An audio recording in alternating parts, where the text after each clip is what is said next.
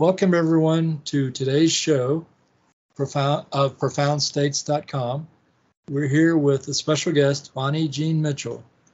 She is uh, the founder of alienabductionhelp.com and a co-founder of awakenvideo.org. She is a researcher, author, and a lifelong contactee.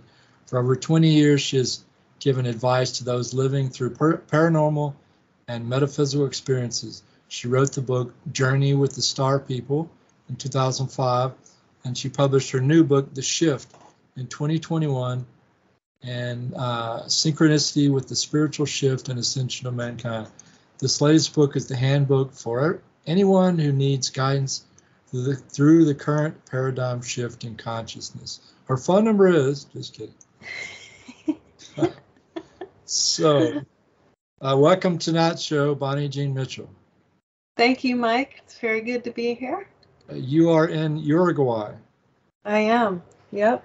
Uruguay, South America. I'm sure we could get into a long conversation about Uruguay.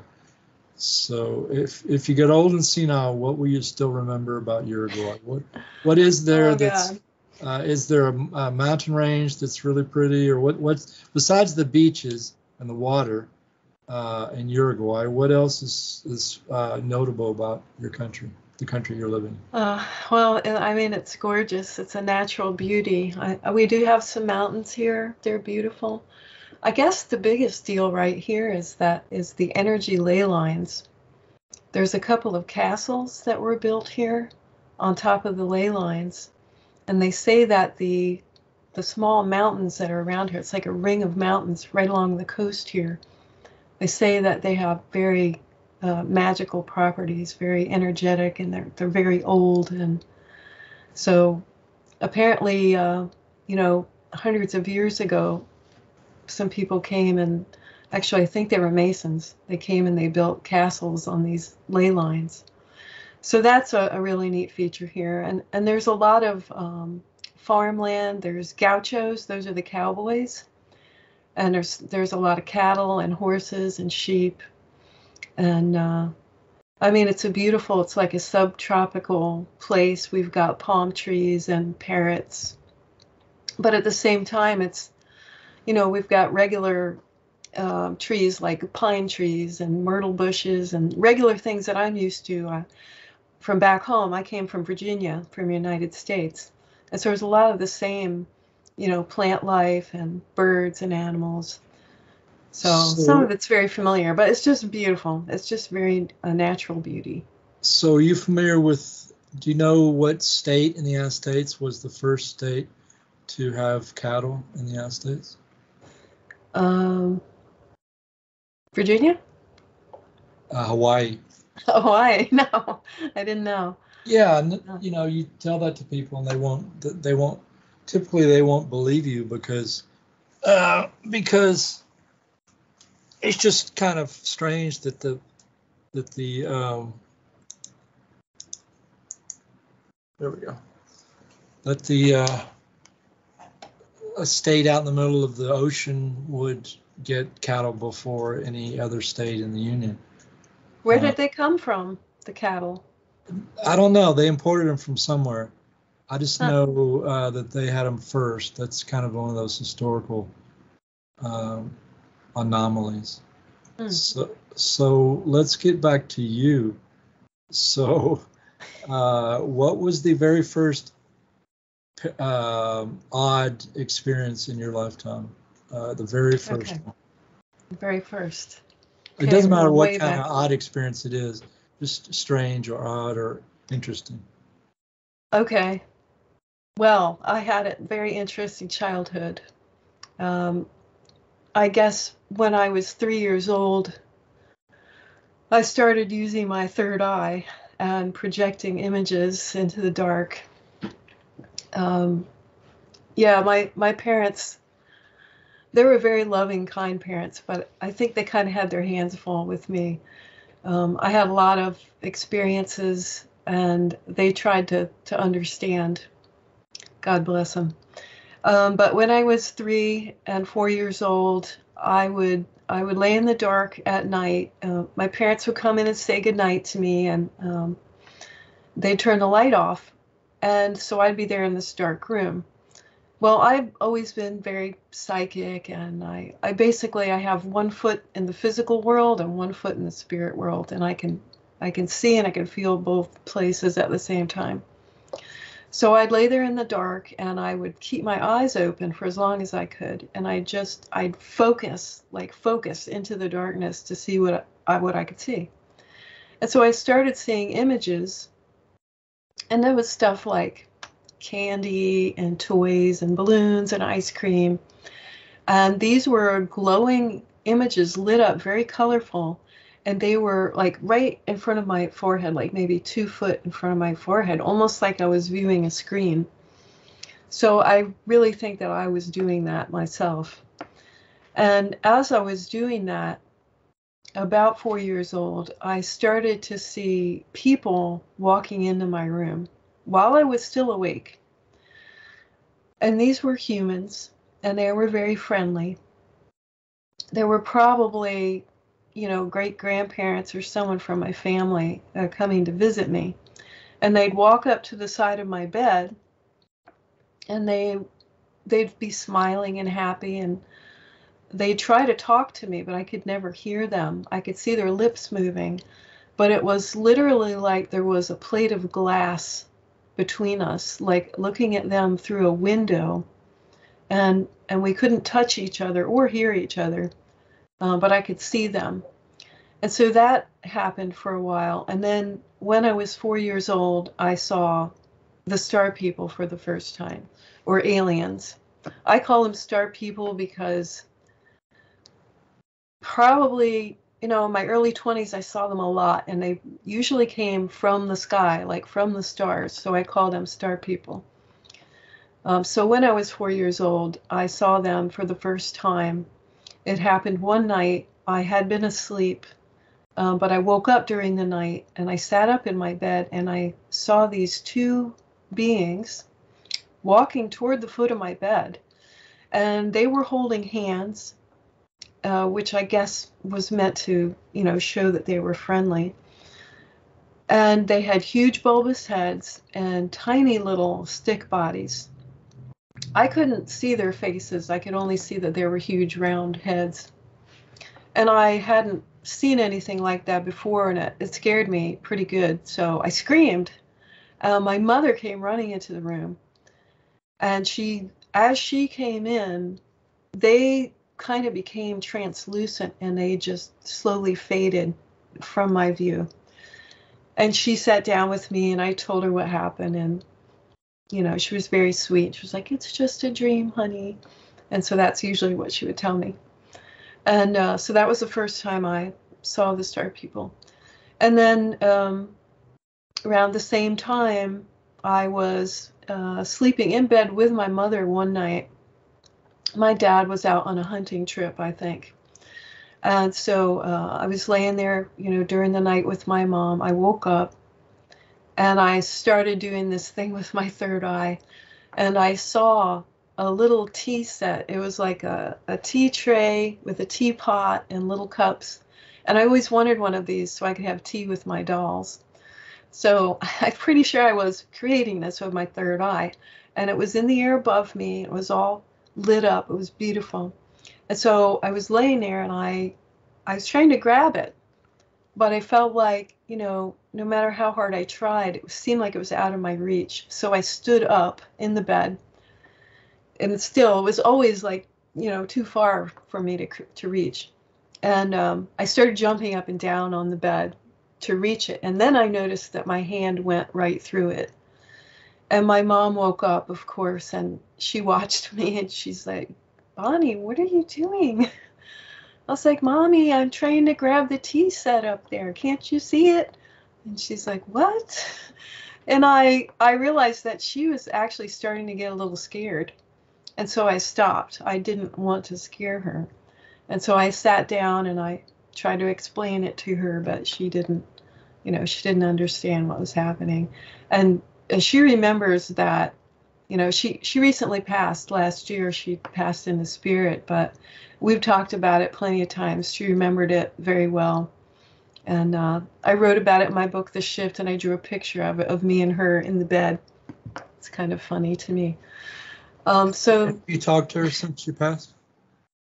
I have, yeah, I have a great connection with her and my father, who passed, you know, about 15 years ago. But yeah, I, I am very fortunate. I do this thing uh, when somebody in my family is going to pass.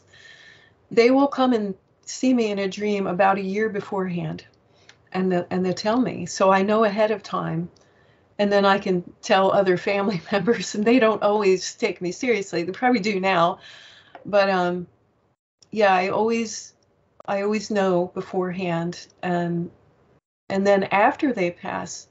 So far, it's been four people in my family. So far, they've done the same thing. After they pass, it seems like one month will go by. It's almost like they're resting for about a month and then then they'll come and see me in a dream.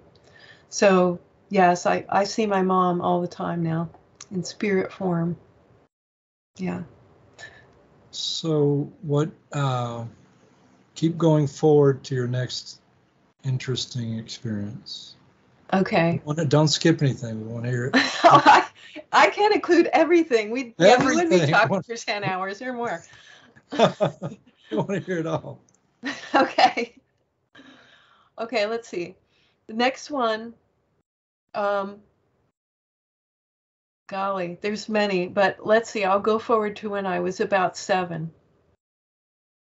Um, so, so the first time I saw the star people, I was four and I was scared of them. But by the time I was seven, we were friends. And I'm really not sure how that developed because I don't have a good memory of that. But I do know that at seven years old, um, once again, at night I was still doing the same thing. I'd lay in bed uh, before I fell asleep, and it was dark. It had to be a dark room, and I could do this third eye thing. And I had my dolls on a shelf in my room, and there was enough light, just a little bit coming in the window. I could see the dolls on the shelf. And so one night I was using my third eye and I saw the dolls on my shelf start to move their eyes and their lips. And that really freaked me out. And I hid under my blankets for a minute. And then I, I kept peeking back out and they they kept doing it. They basically came to life. And two of the dolls on my shelf, they stood up and stepped off of the shelf. As they stepped down off the shelf, they grew um, to about three and a half, four foot, tall or so, and they turned into star people.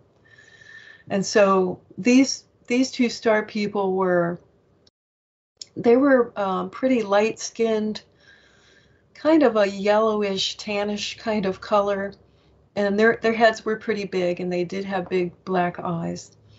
Um, but I recognized them and I wasn't scared of them. And one of them walked up right to right to where my pillow was, right where my head was, and the other one stayed down by my feet at the foot of the bed. And I I was like, "Oh, it's just my friends." And so I sat up, I was awake, and I threw the blankets off and I hopped out of bed and the one on my left by my pillow uh, held my hand and then the other one from the foot of bed came up and held my other hand. And we walked right past my sleeping parents through the living room and out the front door. And um, unfortunately, I don't remember what happened after that. I, I think they wanted me to go somewhere with them, and I'm not sure where we went. But that was like, you know, I felt like like I knew them and I was used to doing this already. And then another thing happened when I was seven, and this was a, a life changer for me. Um, so one night I was in bed uh, asleep, and a little star person, a very short one, shorter than me, and I was seven years old, so he must have been tiny. He ran up to my bed and he was kind of in an urgent manner. He said, hurry, hurry, we've, we've got to hide, we've got to hide. And so I, I went with him, I jumped out of bed, and we, we ran into the closet in the hallway. and we got in there and we got behind some clothes and stuff and he was like be very quiet there's there's some bad men coming into the house and we had to be very quiet so i remember standing in the closet with him and looking down at him and uh, i didn't say anything i was really quiet and we kept looking at each other and we heard uh, some some men come in the front door and they were looking around the house and uh, my my parents were just asleep through the whole thing. This was in Virginia. That was in Virginia. Okay, Yeah. go ahead. Yeah. Oh, what, And so- where, where in Virginia? This was in um, southern Virginia, like the foot of the Blue Ridge Mountains. Southern Virginia. Yeah, like yeah, Okay, go- southern. Go ahead. Um, so we were in the closet hiding, and we listened carefully. Um, these the men were in there like rummaging around or something, and then we didn't hear them anymore, and so we thought it was safe to go out. And we carefully opened the closet door and, and walked out, and we didn't we didn't hear anybody or see anybody, so we walked out to the living room, and he wanted me to go with him, and we had to go outside to do that. Um, but we were a little concerned because of these bad men that might be out there. Um, but we didn't see anybody, and we waited for a little while, didn't see anything. So we went out the front door and down the uh, front steps of the porch.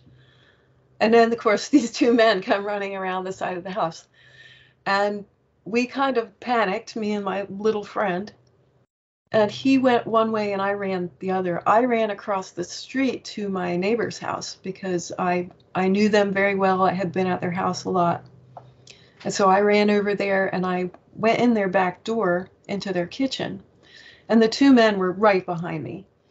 And they came in the kitchen with me and um, there was a like a round table in the kitchen and of course, I, being a little seven-year-old, thought I could just run around the around the table and get away from them. And they just stood there and waited for me, you know, to come around the table. And this one man, uh, very mean, very meanly, stuck his foot out and tripped me on purpose, and I fell like flat on my face. And as I fell forward, he took a tiny little square, little piece of metal, like a little flat piece of shiny metal, and he stuck it on my lower rib on my left side as I fell. And uh, I remember just yelling. I remember screaming when he did that. And then the next thing I know, the scene changed. Uh, I had like blacked out. And when I became conscious again, I was in a room laying on a cold, hard table, like a metal table and I was strapped down to it. And laying next to me was another table, and there was another girl there on this other table, and she was a lot older than me. She was probably about 18 or so. And she was also strapped down, and we we were looking at each other. We were both scared. And how, uh, how old were you? How old were you when this is occurring? seven. Seven. Okay, just making Yeah. sure. All right, go, keep going. Yeah. And so uh, I remember the room pretty well. And um, I remember seeing, I remember looking up at these double doors that were metal doors, but they both had windows in them.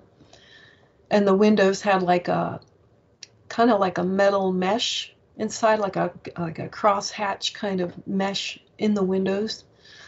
And uh, these two double doors, metal doors. And um, there was it was kind of like a landing when you came in the doors and there were two sets of stairs that came down. And so the tables that we were laying on were like down in this lower part on the lower floor. And i could look up and see the doors.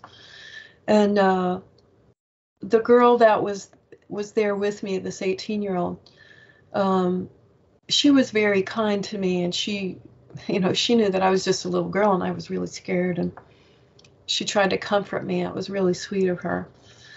And uh, but we were both scared. And some men came back into the room, and I don't quite remember if these were the same men that had chased me around the table, um, or if they were different. But uh, they said to me, in kind of a mean way, they said, we, we're going to coat you with gold and turn you into a statue. And I don't know what that was supposed to mean, but I, I took it, you know, literally.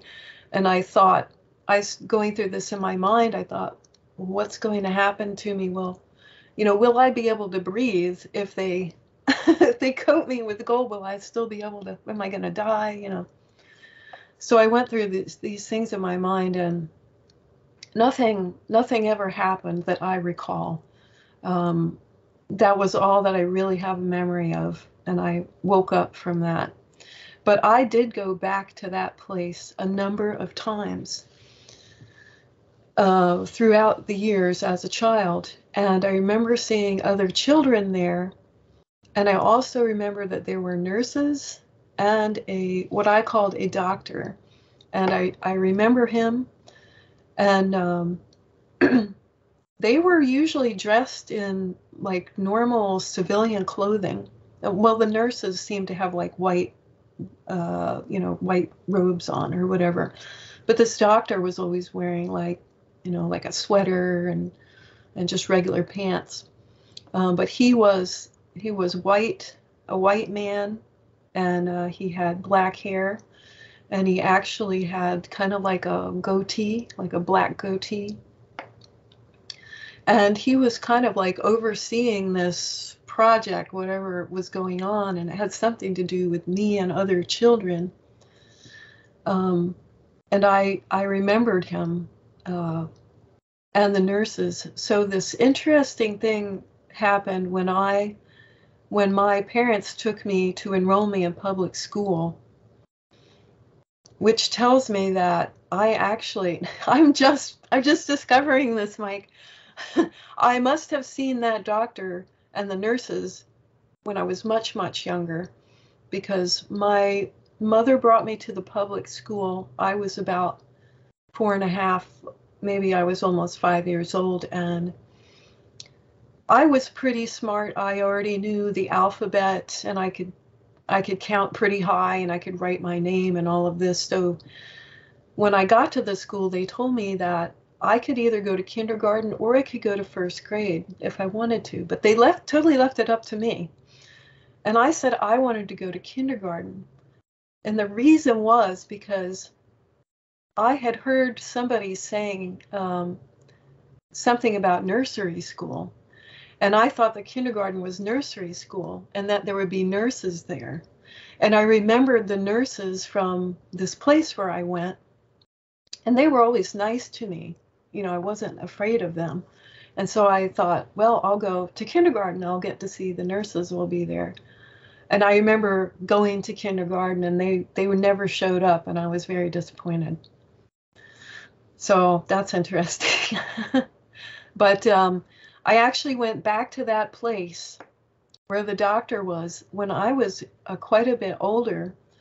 I was probably in my 20s, probably 25 or older, when I went back there. I, I went back there to visit. And um, now this happened probably not in a physical way, I mean, I don't really see how it could have been. Maybe it was, I just don't know. Maybe I just don't understand how that works. But I I went there and the doctor was there and the nurses, a couple of the nurses were still there. Some of them were gone, but they had a whole uh, lineup of children, and they were putting. The nurses came around on each child. They gave them like a a yellow rubbery kind of bracelet put on their right their right arm. And the nurses came up and they put one on my arm and I just looked at it and I took it and I threw it down on the floor because I didn't want it. And and the nurse picked it up and she put it back on me. And I took it off again and the doctor said, "Don't she doesn't need a bracelet. Don't worry about her."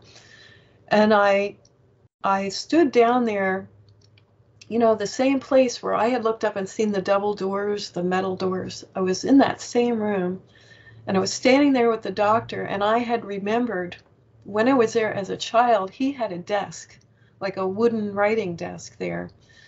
And he used to sit there uh, near the base of the stairs. And so when I was older and went there about 25, I said to him, I remember you, and I remember your desk used to be right there.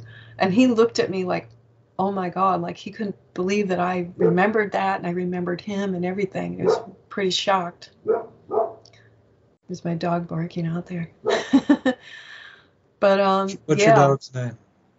Saint. Saint. He's Saint. Uh, is he a uh, German Shepherd?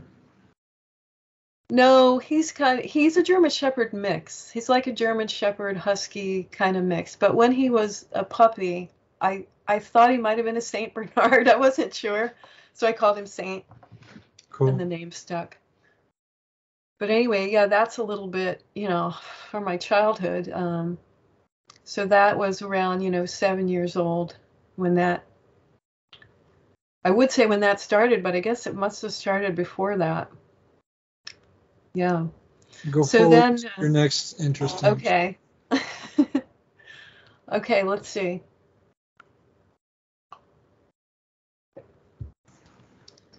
Um, when I was nine years old, okay, when I was nine years old, uh, one morning I was getting ready for school and uh, waiting for the school bus to come pick me up. And my mom and dad were both there, and we had already eaten breakfast. And my mom and dad both went out on the front step of the house. And they called me out there, like, Bonnie, come out here. And so I went out, and we were all three standing on the front step there. And above our house was an object floating above our house. And there was a cloud cover, pretty low cloud cover that that morning. And so what we saw when we looked up was an oblong an oblong object. We could only see the bottom of it sticking out of the bottom of this cloud. And it was I'm going to guesstimate How old are you now? 9 years old. Okay, and you're still in Virginia. Yeah, I moved to a different part of Virginia. I was on the East Coast now. So still in Virginia. what's the name of the town you were in? It was remember? called it was called Greenbackville. Okay, go ahead. So um, this thing was uh, just floating right above our house. The bottom of it was hanging out of the cloud, and so it was it was an oblong object, and it, I was about maybe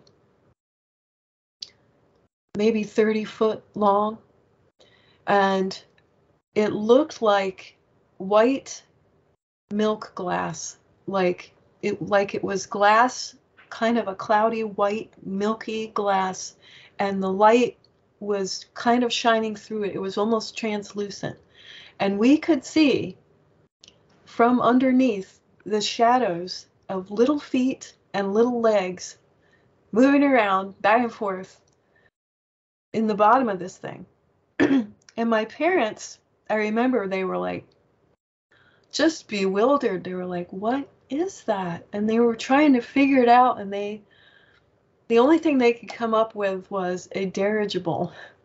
Like there was a dirigible up there just floating in one place over our house with a glass bottom.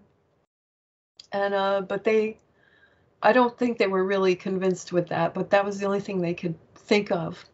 And we stood there for probably a good, like, at least 10 minutes, maybe 15 minutes, watching it. And it went up into the cloud, and the cloud came down around the bottom of it and ob- obscured it. So it was just a cloud up there.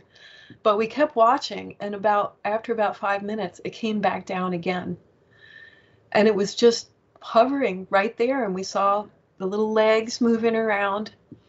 And my parents just couldn't figure out what it was, and I, I didn't really know what to think and uh, I, I was getting ready for school and my school bus came and i went i got on the bus and i went to school.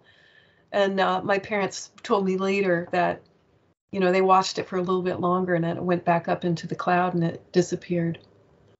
So we never did figure out what that was. But um, then another thing happened when i was nine years old. So my mom, my dad had gone to work. This was in the morning, and I guess it was summertime, and um, so I didn't have school, but my little sister was going to some type of uh, summertime program for little kids. And there was a bus that would come pick her up every morning. Well, she missed the bus. So my mom uh, brought her in the car. So I was left there at the house with my little baby sister, who was probably only a year old or maybe less. And so I was nine years old. And because I was very, you know, intuitive and psychic, I that day I felt kind of scared because I felt a presence in the house. And I sat in the recliner in the living room. And from my vantage point, I could see through the living room, the dining room, the kitchen, and into the back bathroom, all the way across the house to the other side of the house, I could see. And I just knew there was something in the house and I kept staring into the bathroom. And I saw around the bathroom door, this hand came around and almost like it wasn't completely physical, almost like it was a shadow of a hand. It came around, it was underneath of the doorknob, so whatever it was seemed a little short. And so I watched this, and the the fingers on the hand were long. It was not a human hand. And so I just my heart started beating really hard, and my eyes were just wide open, and I was just staring, and this thing, whatever it was, it became invisible to me. I couldn't see it, but it was walking across the floor. It came out of the bathroom through the kitchen. I heard it walking on the floor. It came across the dining room, which was an old wooden floor, and I heard the boards creaking. I knew there was something walking. Now, my little sister was in her crib. This was in a hallway uh, in between the living room and the dining room. And this thing, whatever it was, walked across the floor and went into the hallway to where my baby sister was and she started crying. And i jumped up and i ran in there and i went ah! and i scared the creature away. And i you know i had to be very brave because i was i felt scared but i didn't want anything to mess with my little sister so I scared it away and I picked her up and she was crying and I, you know, I held her and I rocked her. And I kissed her and I told her it's okay.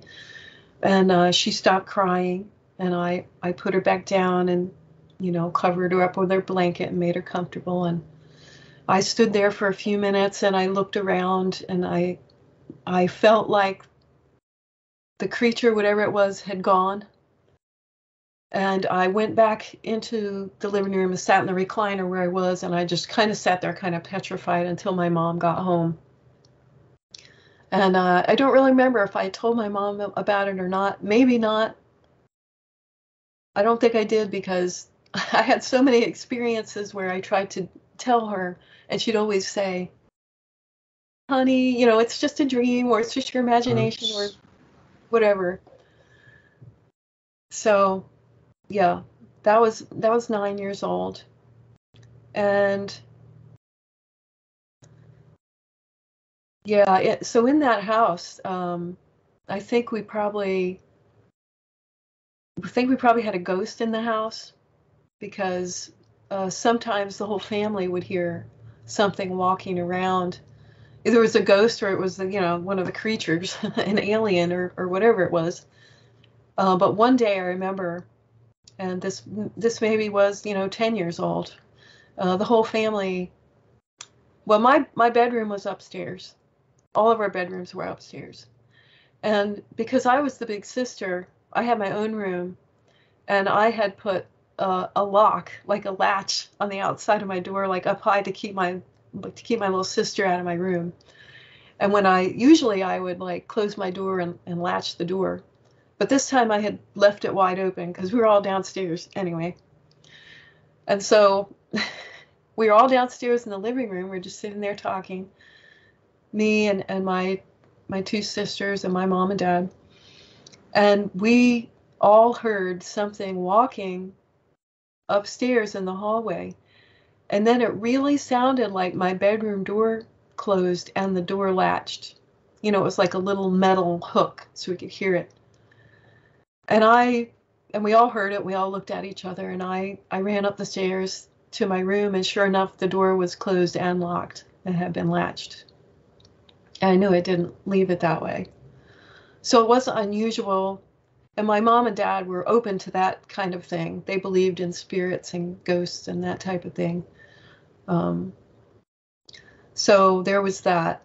And I guess when I was 11, I had more experiences with the star people.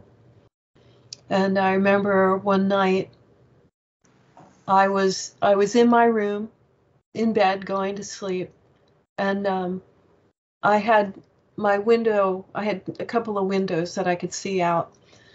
And I was looking out the window as I was laying there, and I saw a a white light, what you know, kind of looked like a shooting star, but or a meteor, but it came down to the ground, uh, right in town where we were, and it went behind some buildings, and I really saw this thing, and it was, you know, it was a big white light. It came down and it landed someplace, and so I I called out to my dad and he came in the room and I told him what I saw and and he assured me that it was okay and that in the morning he would he'd go out there and he'd investigate to see what it was.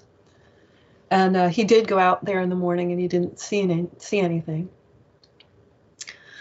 And so um, is this still in Greenbackville? Uh, no, this is this is now in a place called Chincoteague. Chincoteague? Chincoteague Island, yeah. Which is where? It's on the east coast of Virginia. It's right on the Atlantic Ocean. How do you spell it? Chincoteague. It's spelled C H I N C O T E A G U E. Oh my Chincoteague. It's a Native American Indian word. What's on the island? Well, it's a small island. It's about seven miles long by two miles wide. And there's, I think when I was growing up, there may have been about 5,000 people there. Um, so everybody knew each other. You know, it's like a big family, big community. What did your parents do? Um, well, they're artists. They were. Uh, my dad was a decoy carver, and uh, my mother was a painter, and they worked together. They created some beautiful art. And you know what?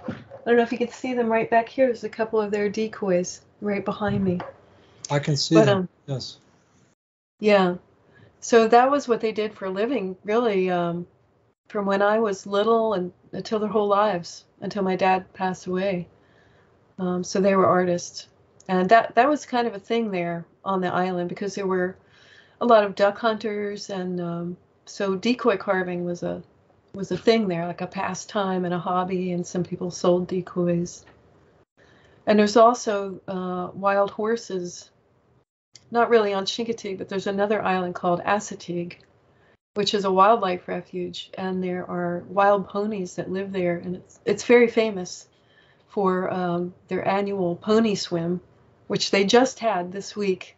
It's the end of July every year. They have this pony swim, where the ponies, there's cowboys. The cowboys go over to Assateague and they herd up the horses and they swim across the channel to Chincoteague. And it's it's kind of all through the fire department. They take care of the horses all year long, and so they're allowed to keep a certain amount of horses on Assateague. Since it's a wildlife refuge, they have to kind of limit the numbers. I think it's 150 ponies.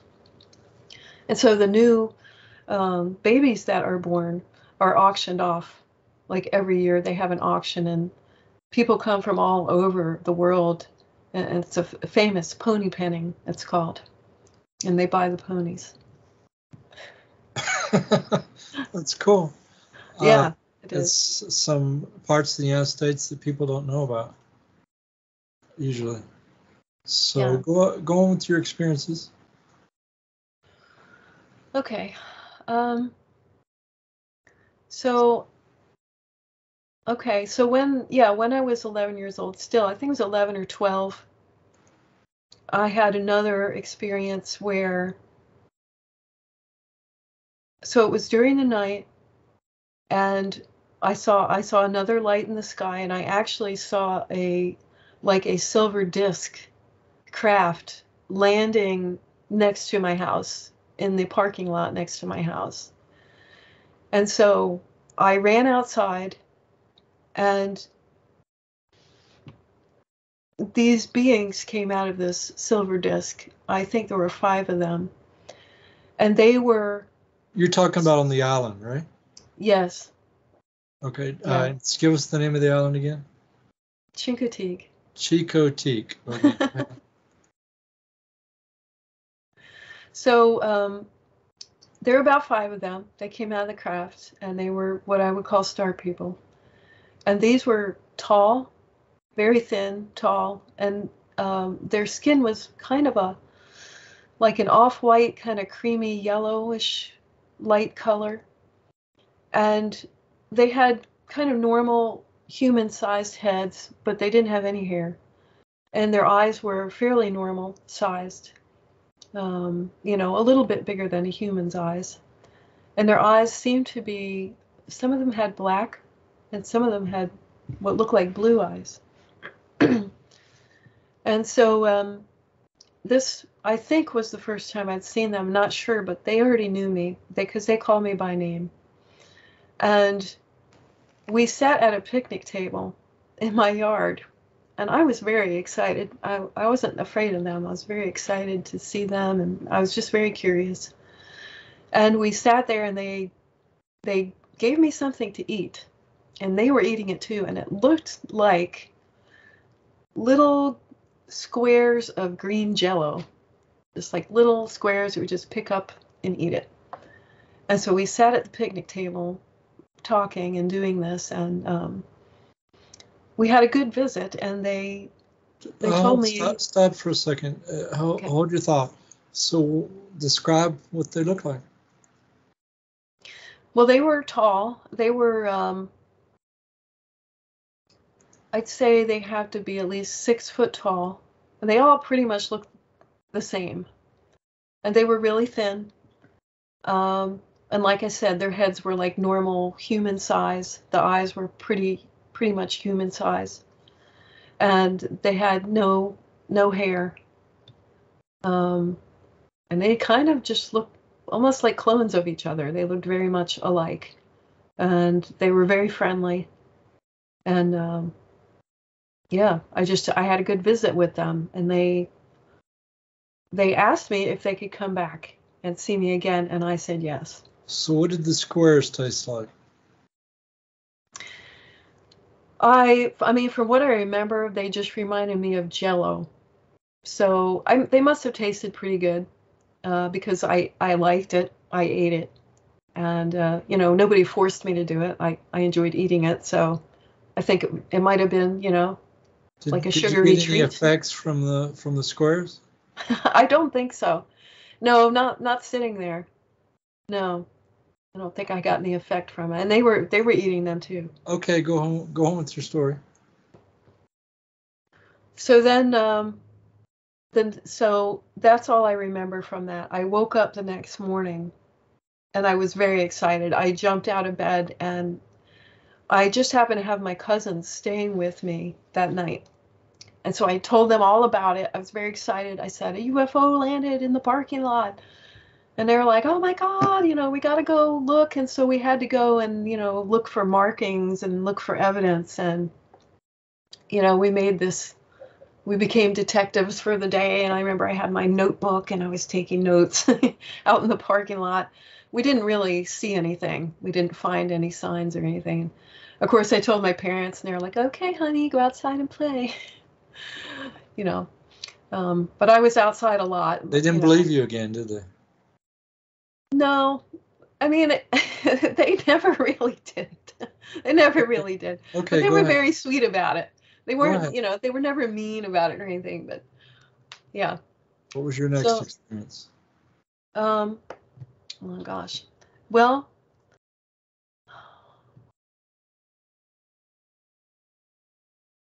hmm. My next experience was, I think, I think what happened was when I became a teenager, I didn't pay attention to all that stuff so much anymore because I really got caught up in school and I was in band and I was on the track team and I was in majorettes and I played guitar and I was just into so many different things, you know, just living life. You're still living on Chicoteague Island. Yeah. Okay, Yeah. go ahead. And um, so I didn't have a whole lot that I recall. I'm sure things happened, but I just didn't really pay attention because I was busy with other stuff. But um, when it really picks up again is um, in my early 20s. And so what happened was, I guess I was about 19 years old. And I read a book by Edgar Cayce, the famous psychic, and he um, he advised people to record their dreams. He said that if you make a dream journal, you record your dreams every morning, it will help you in your life because you know sometimes your mind's trying to work out problems and um, sometimes this happens. Like dreams are your is your subconscious mind talking to your conscious mind. And so it comes out in symbolism. And if you write down your dreams every day you'll be able to see this symbolism and you'll see patterns develop. You know let's say if you dream about water a lot you know and you'll say look at each dream that has water in it and it's like oh what does it mean to me? And so you develop your own dream dictionary.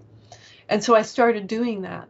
I started writing my dreams down every morning when i was about 19 and so i did I, it took me about four months to train my brain to do this because i didn't always remember my dreams when i woke up in the morning but you can actually train yourself to do that and so I started remembering, you know, four or five dreams every morning when I woke up and I write them down right away. And so while I was in the process of doing this, and I did find the symbolism and I found the patterns and I made my own dream dictionary and all of that, but there are these other experiences that were not dreams.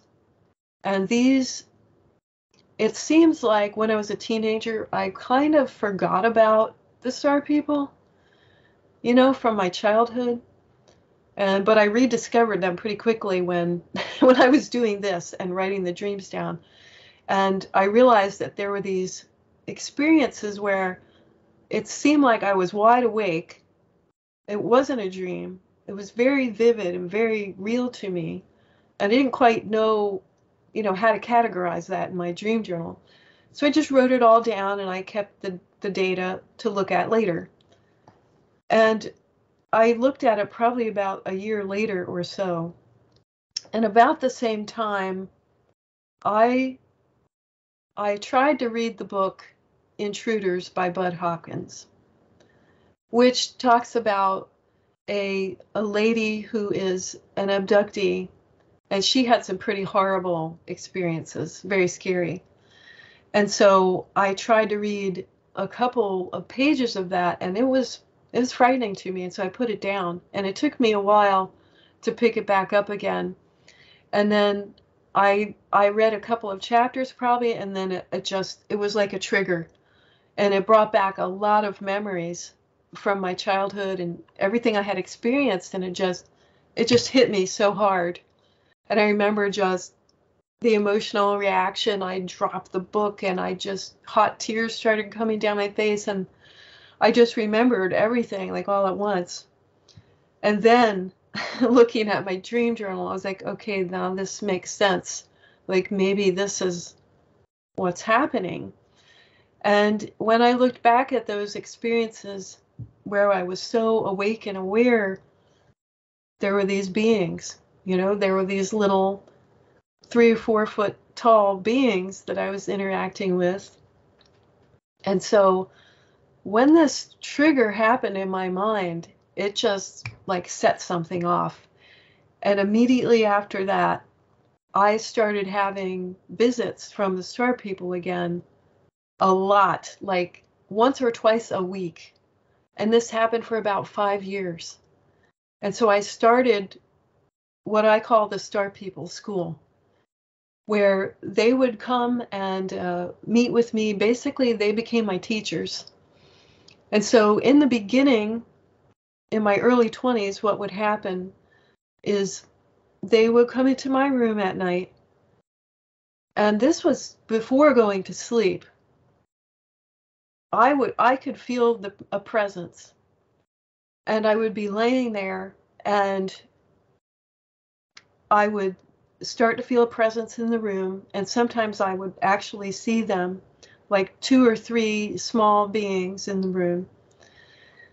And sometimes my body would become paralyzed and I'd start to feel all tingly, like all throughout my body, like pins and needles. And literally, they were taking me out of my body. They were taking my conscious awareness out of my body. They were helping me to raise my vibrational frequency, and they were lowering theirs a little bit, so we were meeting like halfway. And they explained to me that they couldn't really they could they could manifest physically for a short time.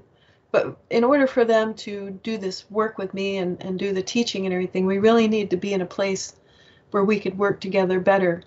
And i think this is the etheric plane.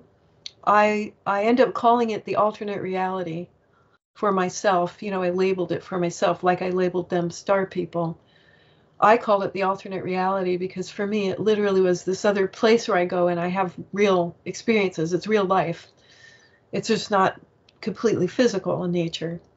So they were coming into my room and I'd go through the whole thing of like sometimes I was wide awake with my eyes open. I would keep my eyes open as I used to do as a child in the dark and I could just see the whole thing play out. And my physical body was like all my muscles would relax and go to sleep. The body itself was kind of going to sleep. But my conscious awareness was awake, awake and aware and very alert. And I would feel myself like I drew a picture of this too. This is in my first book, Journey with the Star People. I can remember one time there was two of them at at the right near my head, right near my pillow and when my body was asleep, but my mind was awake, they pulled me out by my shoulders, and I felt myself just floating out of the bed by my shoulders. They float me right right through the wall, right through the wall, outside onto their craft, where we we did all types of different things. There were like physical examinations. There was a period I went through where they did take um, ovum from me, and there was the creation of hybrid children. And at the same time, this teaching was happening. Like they were showing me how to uh, mentally focus. And I mean, I was already psychic, but they were doing psychic testing with me. And there were other human people doing this with me. They were like classmates, and there was a group of us, and uh, they they would teach us like how to mentally do things, like to focus. And so in the beginning, they did this. They would come into my room, take me out of my room, and go through the whole process. But after a couple of years, I learned how to do it by myself. So they stopped coming into my room to get me, I would just leave my body and go meet with them. It was a lot easier, a lot more simple to do it that way. And uh, but for those five years, it was intense, and so they taught me. They taught me to face my fear.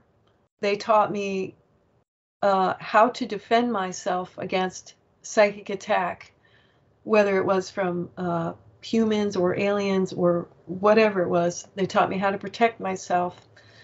And they taught me how to focus mentally. And they started showing me this thing they called, uh, or I called energy manipulation.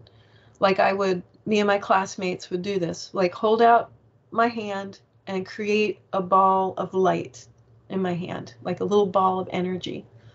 And that was the foundation, like the base of creating an object out of this. And I was creating like apples and oranges and flowers and stuff like that.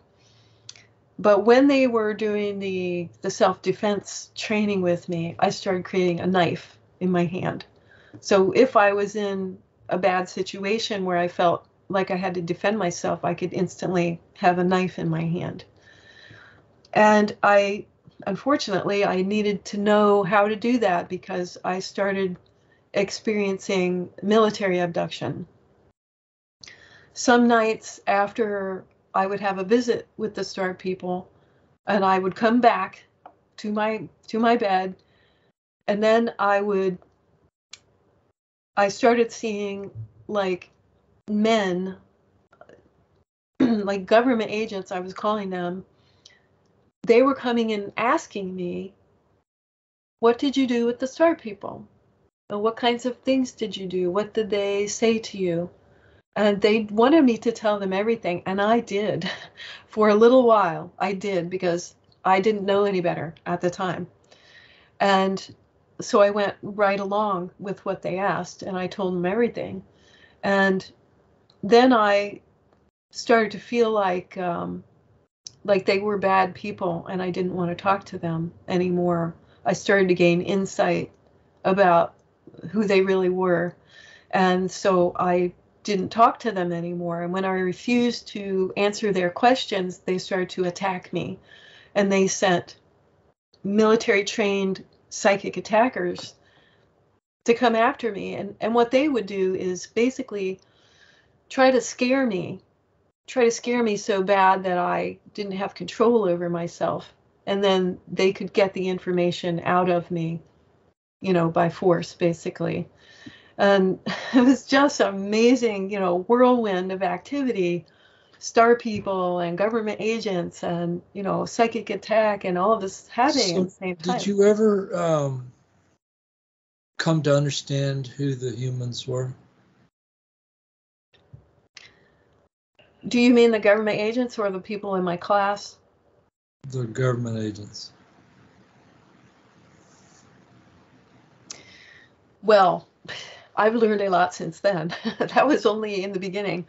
Um, yeah, I have a pretty good idea of, of who they are now. But um, yeah, I call them the controllers. Uh, so, okay. Um, I don't want to get into my story because we'll pull you off, but um, so you say you've figured out who they are, but you're giving them a name that's fairly um, generic. So what have you? Did you ever, being all the talent you have of getting out of your body and being psychic and going here and going there? You never fo- uh, followed the your controllers back to where they came from to figure out. I have. Yeah. I have. Yeah. Okay. Well, then we want the we want the nitty gritty. we're not we're not uh, we're not going to settle for the uh, yeah. surface stuff. We want the details. Well. Okay. Let's see. I had a one time I had a uh, an experience, a psychic attack. This this military trained psychic attacker. Um, see if I can remember this correctly.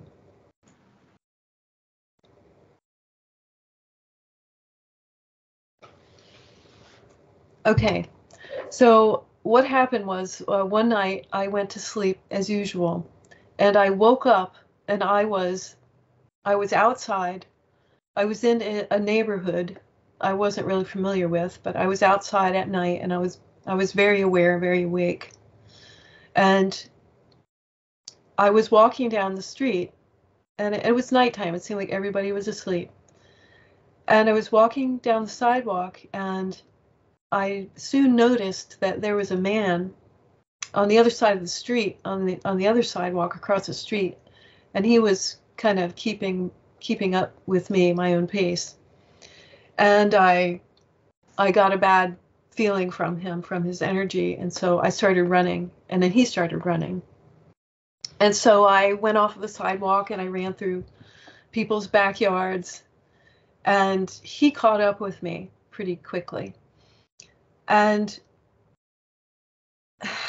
he grabbed me from behind, he grabbed my hair and he pulled me backwards and we got into this fist fight and I created a knife in my hand and I managed to get him down on the ground. I was I was actually on top of him cutting his throat. And he was a great psychic because he just started singing and ignoring me. And and this is what you would do, you know, because you you already know that you're out of body and if you get your head cut off it's not really getting your head cut off but you could you could So- really So you're astral projecting at the time. You're not in physical. yeah right right Okay, go this ahead. this was in uh, the alternate reality Okay. uh, but i was very very conscious uh, even though i was out of my body and um, so i did manage to get away from him and i woke up in my bed but i knew that he would be coming back and so so what i did was i i followed him the next night i went to look for him and i i found him and he wasn't in a military base but i saw him and he was like sleeping in his on, own stop, bed. stop, stop. So you went out of your body to find him. You found his physical body. Um, I was out of my body, and I guess I did find his physical body, but I what I was focused on was finding out what he was afraid of. Because I was going to use his own tactics against him, because that's what the psychic attackers do. They use fear to control people. And I knew that he would probably try to come back and find me again. And I, it was kind of a brief out of body excursion but what I was able to do was to find out what he was afraid of. And I found out that he was afraid of snakes. And so what I did was, after I woke up the next morning, I just focused on that uh, because I had a feeling he would come back again pretty soon. And so I focused on becoming a snake. I focused on the energy of a snake and I did this all day long.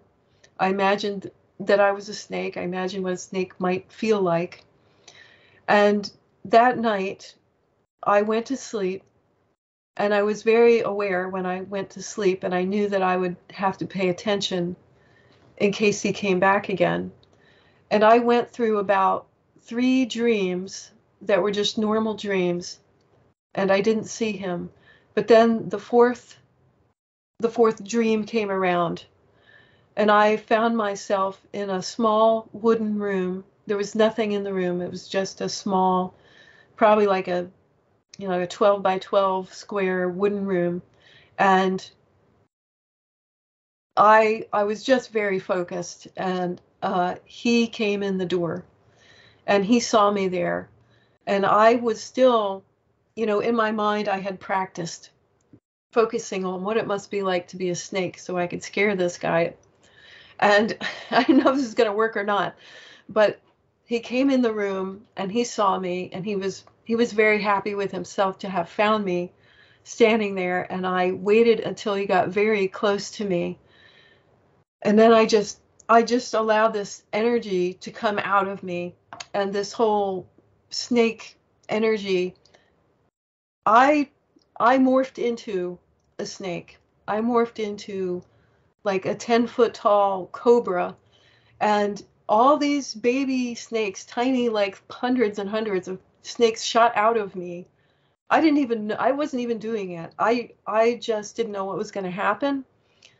And they went inside of him and he froze. And he was very shocked. He definitely was not expecting that. And I think I think it was a lot for him to handle, a lot a big shock for his body to handle, probably his physical body. And he never came back again. I never saw him again after that. But that's just one example of you know, a psychic attack and trying to defend myself. But So, I have How did, stop for a second. So how did you know, uh, being as you're doing astral projection and you're in an alternate reality, first of all, how did you come to understand he was anything other than something you were making up within the that realm? How did you know he was a, a, a physical human agent that was astral projecting like you were? How did you come to that understanding?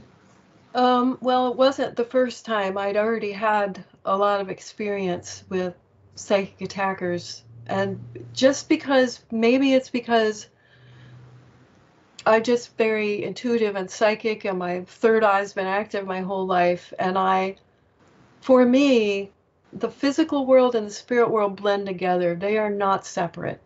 And so the things that I learn when I'm out of body are just as relevant to me as when I'm in my physical body. And I just, after years of experience, just gained this understanding. And it wasn't the first time. And I had been to military bases, I had been underground and, and doing this most likely out of body. All right, Um, stop. Stop. So, if you caught my attention, now go back to where you were underground and wherever you just mentioned. Okay. And what what age are you? And give us start from the beginning, whatever age you- that was. Okay. Let me think for a minute.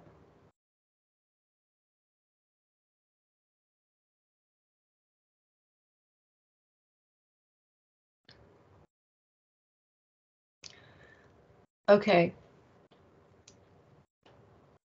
When I was about, I guess, 21 years old, I had an experience where a uh, one of these government agents, psychic, came into my house, and I uh, I assumed this I mean, was physically came in your house in a physical body. once again I I think this was out of body. I think this was alternate reality All right. experience. Sure, But for me, just it's as just real. as real. okay, just as ahead. real. All right, that's fine. Go ahead. Okay. So I, I went to sleep as usual. I got up. I woke up. Okay. So when I woke up, it's hard for me to even know. Am I physical or am I out of my body? It's either way, it's so real to me.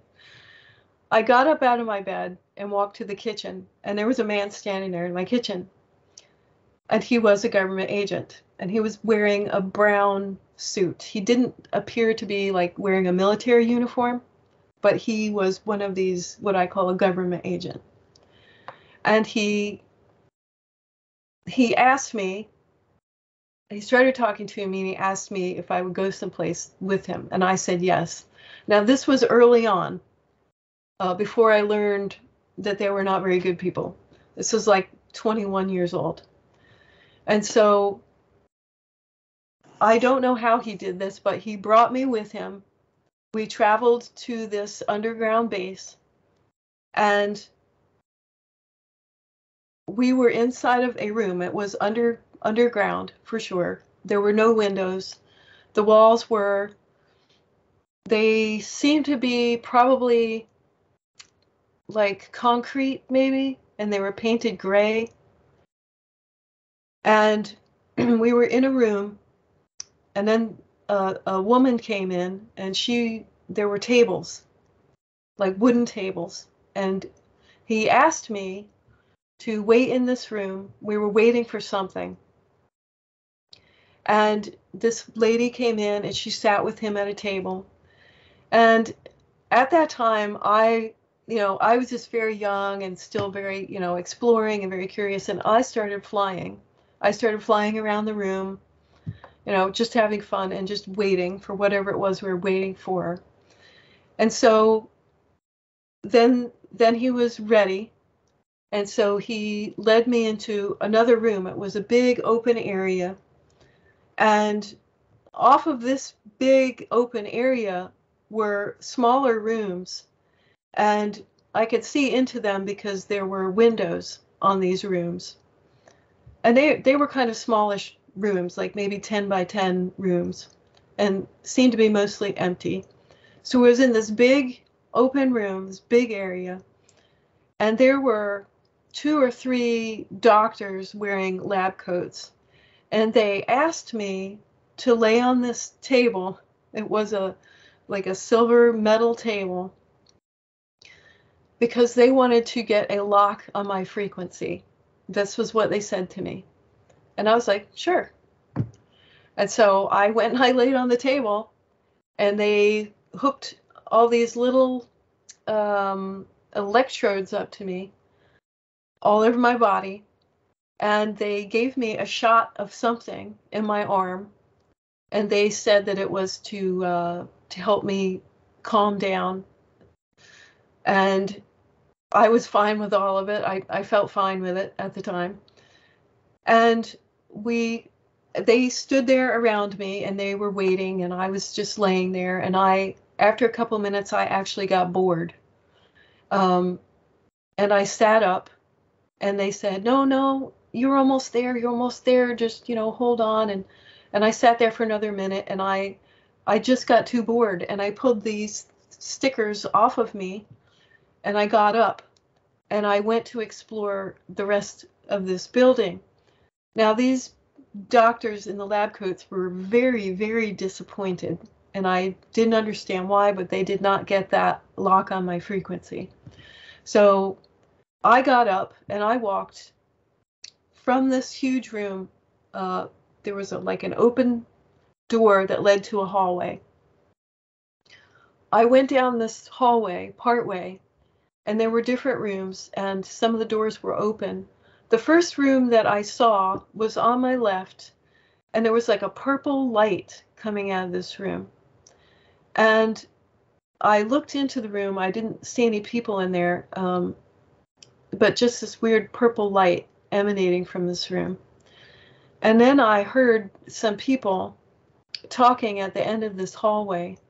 And I didn't go down there because I I thought, you know, I probably shouldn't go down that way for some reason, but I turned around. I came back out to the big open room where the doctors were and then I, I went in the other direction where I saw these like 10 by 10 rooms that had the windows on them.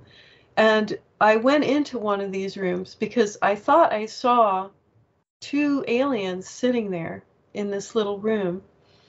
And I went inside the room and what appeared to be aliens sitting on this bench, like sitting on a wooden bench. And I I said, "Hi. What are you guys doing in here?" and I was like trying to talk to them, but they did not respond to me. And I I got closer and I looked at them, you know, closely, and I touched one of them and the head fell off, and I realized it was a suit. And that kind of made me angry, thinking that um, you know I'm here in this government base and they have alien suits, and I was confused about that.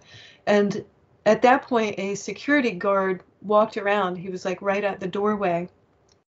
And I came out and I saw him there at the doorway and I I was a little angry and I said, "Why are there fake aliens in here? Why are there alien suits in here?" And he actually said to me, "We use those to gain the confidence of people like yourself." He said that to me. And so I got kind of angry and I went out back into the main area where the doctors were and I walked past them again, back into this other hallway where I had seen the purple light coming out of the room. And then I once again I heard the voices at the end of the hallway and I decided to go down there. And so I walked all the way down to the end of this hallway and once again it was kind of like a, a dark gray hallway. It was like painted gray. So at this, there was an open doorway, another room, and there was probably, you know, six or seven people in there, and they were all young men, probably in the early 20s or so. And at that point, I realized these are probably um, psychics and they are training. These are military psychics. And when they saw me, uh, they got angry and they rushed at me. And so I ran. And I ran down the hallway. I ran back through where the doctors were in the lab coats. And I ran back through the first room where the government agent had brought me, and the wooden tables were in this meeting room. And I I ran. I started flying in this room. I was looking for a way out, and I found a doorway, and there was a double doorway that that opened up, and I flew. I flew out up into the air, and I flew as fast as I could because I was trying to escape these psychics that were running after me. And I looked down behind me and I saw that we were in a marsh. There was water, there was cattails, and there was no building to be seen, but I could see the double doors that were open. So clearly it had been underground. And possibly it was nearby where I lived because the environment was very familiar. There was the water, the marsh, the cattails, there was pine trees. And when I realized, you know, that what was happening, I actually started crying and I but I kept flying and I went towards what I you know, I was trying to get back home and I was trying to wake up and I did. I eventually woke up in my bed. So and I wrote all this down when I woke up in the morning. So that was one experience in an underground base. And um, there's another one I could tell you about that happened uh, more recently. I was probably about uh, 40 years old, maybe in my early 40s when this happened. And but I just want to say briefly that I learned a lot from the Star People. I went through the Star People school and I graduated from that early training. And then I was on my own for a while doing my own thing. But then later, the Star People the Star People came back and worked with me again and they taught me a lot more. Um, and they taught me about the shift of, of human consciousness and the big awakening that we're going through now was their main was their main uh, teaching for me. But this uh, experience i had i went underground again one night and i think this was probably out of body in the alternate reality. And so what happened was i went to sleep. I went to bed that night as usual and I woke up and I was in a different place, but I was wide awake. I was consciously aware. And so what I saw first was kind of a meeting area with humans. And what I saw were walls that were kind of curved walls. And they looked like a, a rusty brown kind of like it was metal that was rusted. And I was in this meeting area. It was supposed to be during the day, um, but there were no windows, there was no sunlight or anything. I got the impression that it was underground. And so I saw these people lived under the ground. They lived in this place, in this rusted out old place. They lived there. There were humans there. There were some families who even had children, and everybody was very solemn. And I saw a family. There were two children, and the parents parents were on the outside, and the kids were in the center, and they were all holding hands, and they were very close to each other. And uh, everybody just kind of you know, they clearly were not happy. They didn't really want to be there. I don't know how they got there. Um, but they were living there and everybody had like a little apartment where, where they lived in and this was supposed to be their daytime hours where they're having like a social activity and I was standing next to a, a very nice lady who was spoke to me, and what they were doing was they were like trading. She had some items, like some clothing and some some little trinkets. It was almost like um, like she was having a yard sale.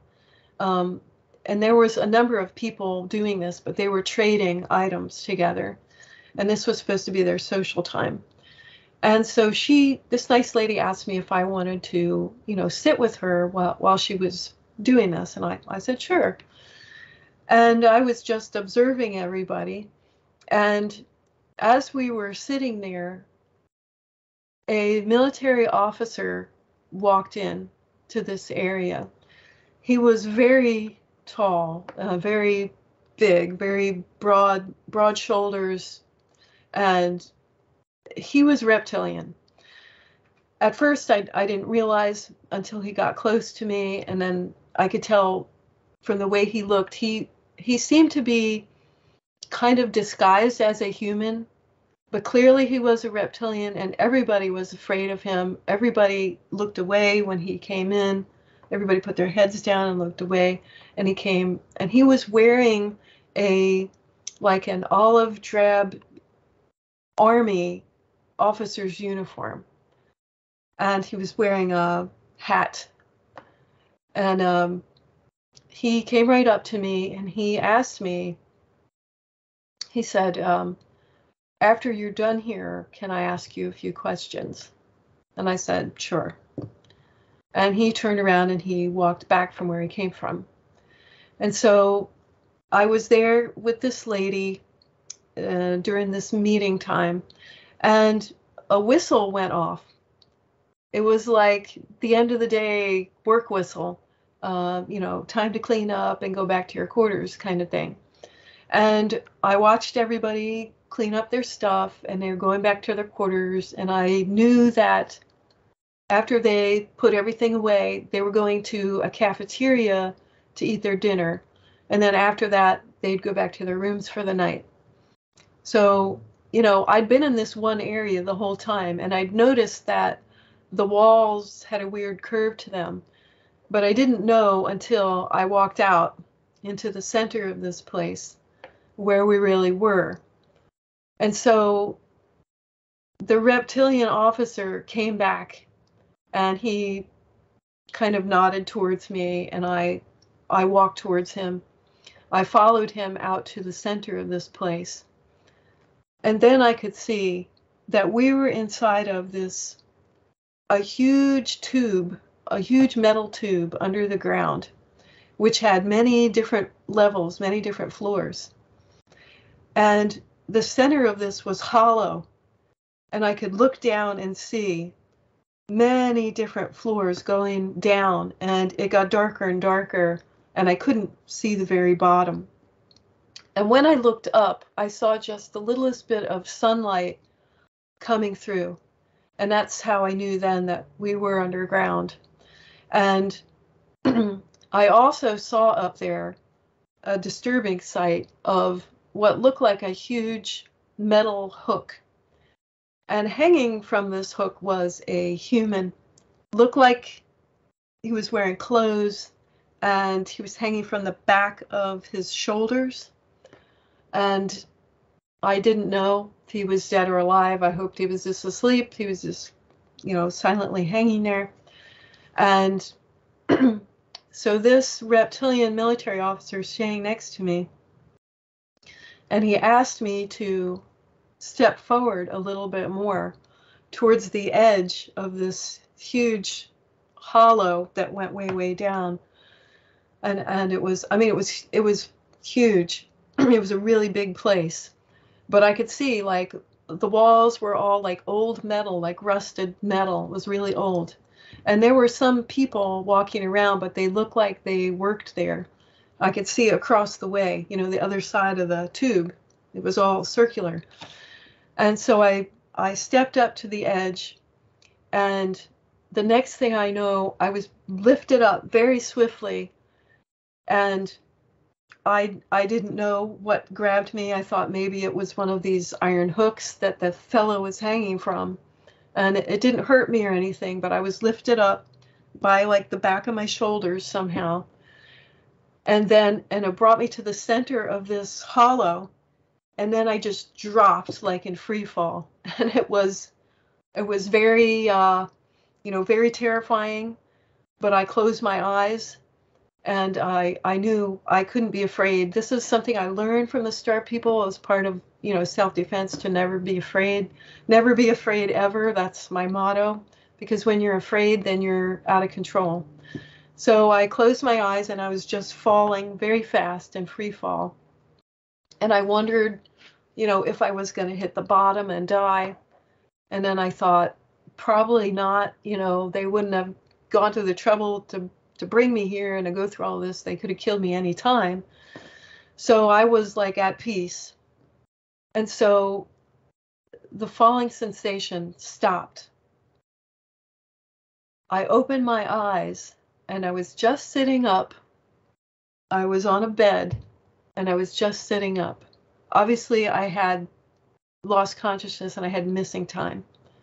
So I just sat up in this bed. It was a well lit room and it, it it was a small like it was a white room it was painted white it looked very modern and new compared to the rest of the place it wasn't old it looked brand new this room and the reptilian military officer came in the doorway of this room and and nodded to me and I knew I was supposed to go with him again.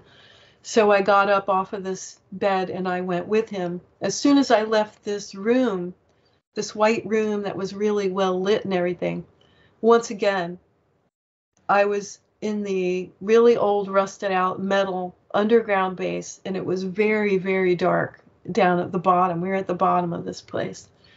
And there was it looked like we were in an old mine shaft. And there was an elevator there that looked like something out of an old mine shaft. And uh, it was like a rickety old elevator. And, it, you know, it wasn't even enclosed. It was like, um, like old rusted wire, you know, like a fence kind of wire just wrapped around it. And you could see inside of it. And uh, so he stepped up into this elevator, and I got in there with him. It was just enough room for two of us. And he hit some levers or some buttons, and the elevator started going up. And I lost consciousness again. And so I don't know what happened after that. I ended up waking up back in my bed at home, safe and sound, after that happened. Um, so, um, have you ever named your the reality you go to beyond uh, alternate reality? You know, given it a more specific name, or or come to understand it uh, in any context in reference to your current life? Well, um, I I think that there's the astral plane and there's the etheric plane. And I think possibly what I'm calling the alternate reality is the etheric plane. Because from what I've learned, the star people, this is the easiest way for them to work with us because the etheric plane basically is the blueprint for the physical plane. And I always wondered like when I would wake up in the morning and I'd have a scar on the back of my hand. I got a couple of scars in the back of my hand from them. And scoop marks, they would take skin samples. I have a scoop mark, you know, taken out. When I wake up in the morning and be physically present. But it didn't seem like I was physically going with them. And so I think what was happening is um, I was going out of my body from my physical body to my etheric form. And this is where they're doing all this work and taking skin samples and stuff. They're taking it from the etheric body, and which directly manifests physically on the physical form. And I think that's how we can explain, you know, when they come and take us out of our room and they float us through a wall or a closed window, you know, and, and that's kind of hard to explain if you are always looking at it in a physical sense, you know, it seems undoable. but I think really they they have been taking me out of my physical body, I going to my etheric form, and I'm still awake and aware and conscious, but I'm in this other form. And I think the alternate reality is the etheric plane. So, um,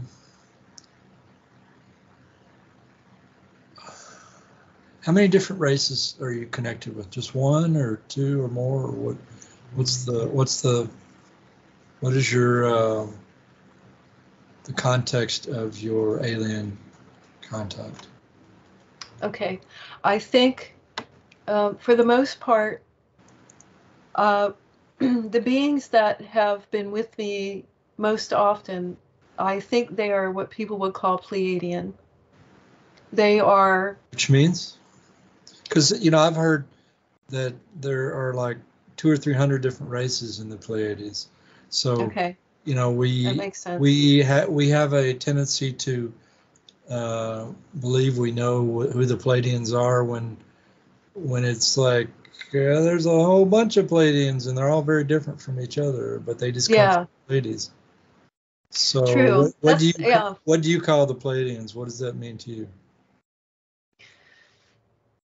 And I, I don't always call them Pleiadian. I kind of do that for other people when other when people ask me this question.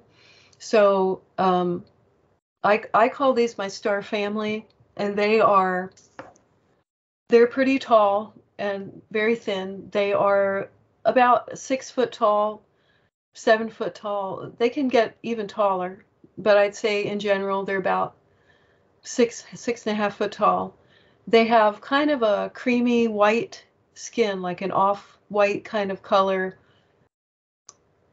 They look rather human, except that their skin is a lighter color. They do have um, like a fairly normal human size head and human size eyes. They normally don't have any hair, although some of them have white hair or blonde hair, and it's usually kind of thin hair. Um, they have black eyes or sometimes blue eyes. And um, So do they look like humans or do they look like grays? Or do they look insectoid? Uh, which They look- a lot of the they look grays more look human. insectoid. They yeah, look they like look human- more human. Yeah, the ones I'm, the ones I kind of consider my family, they look more human. But I've also interacted a lot with these other beings who I don't know where they're from, but they they're about four foot tall, five foot tall, and their skin is kind of a tan or yellowish color. They do have pretty large heads with big black eyes. I don't consider them grays though. Um, not sure where they come from, but I've been with them a lot. And then the grays, I have seen the grays, and there are many different types of grays also. Some of them are, Sure. yeah, some of them are pretty malicious. Um, but some of them, it seems like the grays that are a little bit taller, um, these are more uh, friendly, benevolent, and they have taught me um, a little bit about the shift. And so I have interacted with them, and I, I have interacted with reptilians on occasion. Uh, most of it's been pretty negative uh, with the reptilians. But I, I've also seen other beings that only came once or twice just to see me, sometimes to take a skin sample. And so there have been many different types, but the main ones for me are these taller, kind of off white color, look more human like. And uh, they're the ones I call my star family. So, um, how many races have you met where you weren't in the alternate reality when you were here in the physical? Um, it's kind of hard to say. I mean, I've had physical experiences. well, Well, Recently- so, so so go through go through some of your memorable experiences that were uh, here that you know were on the physical that were not in the etheric or the astral planes. Go through uh, one or two memorable experiences that, that Okay. stand out in your mind. When I ask that question, which experiences come to your mind? Well, the, the first one that comes to my mind is something that happened um, probably about um, five years ago. It was here on the beach in Uruguay. And um, physically, uh, my husband and I were out on the beach, and it was um, it was the off season, so we were pretty much the only ones on the beach. Um, but we noticed uh, this two people started walking towards us up the beach. And when they, as they got closer, I noticed, really noticed the energy of this lady uh, was unusual. And so we ended up meeting these people. So one of them was, appeared to be, they both appeared to be human. One of them was human, one of them was not. The one was an older lady who was kind of rotund. She was a bit chubby. And she had an incredibly strong energy. I would call her a sorceress. She had an incredible, incredible, powerful energy. The fellow that was with her was a young man who honestly seemed to be in a trance. And he was walking by her side and he, he had his arm up like this and he had a towel draped over his arm he was walking with her like he was her assistant or something. He was human. She, I think, could have been reptilian. She walked up to me. We we met them, and uh, you know we said hello because we were the only people on the beach. And when she got close to me, I saw her eyes. She had bright yellow eyes with black vertical slits in them. And she smiled and she her teeth were her teeth were pretty green and she had fangs. She literally had fangs. And she walked up to me and we we made eye contact and I just connected with her on a different level. What I could feel from her was this powerful energy and it was kind of secondary the fact that she may have been reptilian. But we ended up holding hands. Me and this woman, this old lady, ended up holding hands and looking to into each other's eyes on the beach. And she really looked reptilian. I really think she was reptilian. She was just in a human form, but she was a very powerful being. And my my husband was with me and he, you know, we've talked about this before in other interviews, but yeah, he also saw that. He totally agrees with me that she was clearly not human. Um, but other experiences, for example, um, my husband and Hold I. on, stop, stop, stop. Okay. Uh, hold on. Uh, before you go on to other experiences, Okay. uh, tell us what happened on the beach with the reptilian lady. What? How did it end? It end, it went very well. It ended very well. Um, I was really glad to meet her, and she was very glad to meet me, and simply because of the powerful energy that she had, and I think she could feel that in me also, and we kind of connected that way. And we we gave each other a hug and a kiss, and uh, we parted ways, and we you know we wished them well, and they wished us well. She did. He he wasn't doing anything. He was didn't speak. He was just quiet. But um, it, it ended very well. It was actually a good interaction. So did you did you ever come to understand anything more about her other other than what you picked up on the beach about her? Did you did anything ever come up of that beyond the encounter itself? No, because I never saw her again. It was just a one-time meeting, and uh, okay, well know, go on, go on with the other experience you were about to say. Don't hold back. Uh, go for that. Go for that next don't one. hold back. Yeah, don't Okay. hold back. Well, I I can't. Well, I think I have seen entities that probably were not human, but I I don't think I've really met like my star family. I don't think I've met them physically. I don't think so.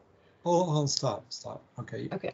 You're everybody I interview, um, almost without exception, they gloss over events. They'll say, "Oh, this happened," and they'll jump and they'll just forget that and go on to the next experience. So um, the whole point of being uh, extremely interesting on any show is you got to give us the content. So you almost said something there and you went past it. So Okay. back up and what was it you just said about uh, oh you said you met you've seen some people that you are beings that you describe it again what was it Okay. Okay, so there's another time. okay Okay. So I was I was staying at a hotel and um I met this fellow at the hotel in the hallway. And he was really tall. He was I mean, very tall, like six and a half foot tall. And his skin was very white. And he did not have any hair. And he was wearing a suit. And I we were both we were both standing at a vending machine at the same time in the hallway of the hotel. And I just picked up this very strong feeling from him that he was not human. And I I didn't want to look at him actually. And I know that he could feel that because just kind of out of the corner of my eye, I saw him kind of smirk. Like he was getting a little bit of, a kick out of it. But it was kind of scary. He I don't think he was human. I think he was some type of star person. And um, I mean, his appearance alone, he, I mean, he was, he was like six and a half foot tall, may, maybe taller. But the fact that his skin was so white and he had no hair, and just the energy and just his demeanor just was not human. And uh, I, I think he kind of picked that up for me. You know he knew that i could sense that. And i i didn't speak to him. I you know i got my chips and my soda or whatever and i just went back down the hallway. We didn't really talk to each other so let's jump from aliens to the shift uh, you have obviously got some insight into it since you write it uh, okay so You've got uh, your books with you now? Physical copies? Yeah. Can you hold up your, uh, each one in the order in which you wrote it and what's in it? And tell us what's in it. okay i have to get up and just grab them off the shelf Oh, yeah, go ahead. Take your time. right back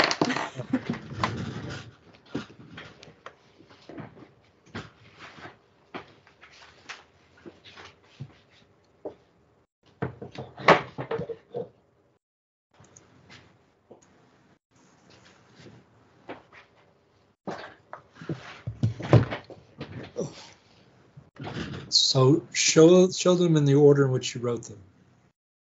Oh, I'm sorry. okay now i can hear you again. Show them in the order in which you wrote the star people or back pull it back a little bit. Down down. Journey with the with the star people. That's your Yeah. first right? That's my first book. And what does it focus on? Well, this is uh, basically book one of my spiritual journey and my experiences with the Star People. This is mainly focused uh, on the Star People school that happened in my early 20s and everything I've learned from them. Um, when they taught me, you know, to face my fear, psychic self defense, energy manipulation, and then started teaching me about the shift. So that is the first on with book. your next one now Okay. the shift The shift. i like that color the the blue i guess it's blue Thank it? you. Yeah, I actually I actually did the artwork for both of them and I I tried to tie the two books together. They kind of have the same blue starry backdrop. So these are the same beings, just uh, one the one the first one is more of a is uh, a rendition and you tried to be more realistic. no, Second one? No? no, they're not the same beings. They're not. This is this one is like a um, more like one of my star family. Um, so this is a different being. This is one of the tall ones, okay. and this guy is probably like he's a little happy little gray. Okay. So uh So this book, this Yeah. book is about. This is book two of my spiritual journey with the Star People, and um, this is about more about the shift. Now, when I started learning with the Star People again, we went deeper into the energy manipulation, and I was on the etheric plane with them, learning how to manifest, how to manifest things on the etheric plane, and and eventually how to manifest physically. And they taught me about the shift and they showed me the end of the world, basically. They showed me the end of this world, the end of this world age that we're in right now, and the process of the steps of going through the end of the world and manifesting the new world. So part of part of the end of the world is where we have to go inward. We have to meditate and focus and go inward into our own minds. And we have to release all of that programming that we've been through, all the mind control we've been through. You know, we've all been indoctrinated. If you're alive on the earth plane right now, then you've been through it.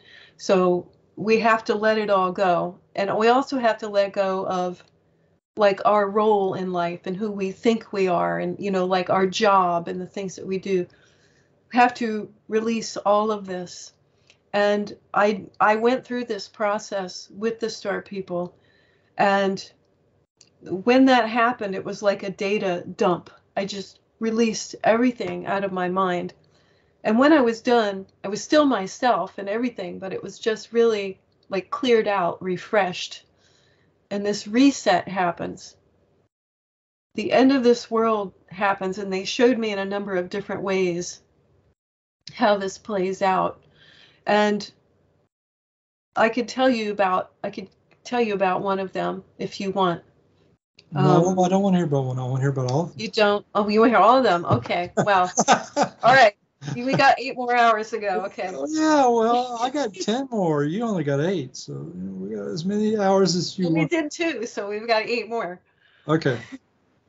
Okay, so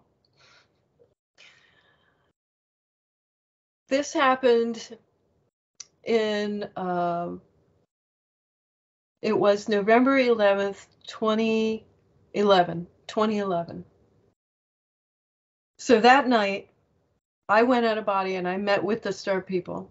So I'm so I'm in the alternate rea- reality on the etheric plane with the star people. And we are on a ship and this ship is actually, interestingly, a wooden ship, like a man made wooden ship floating on the ocean.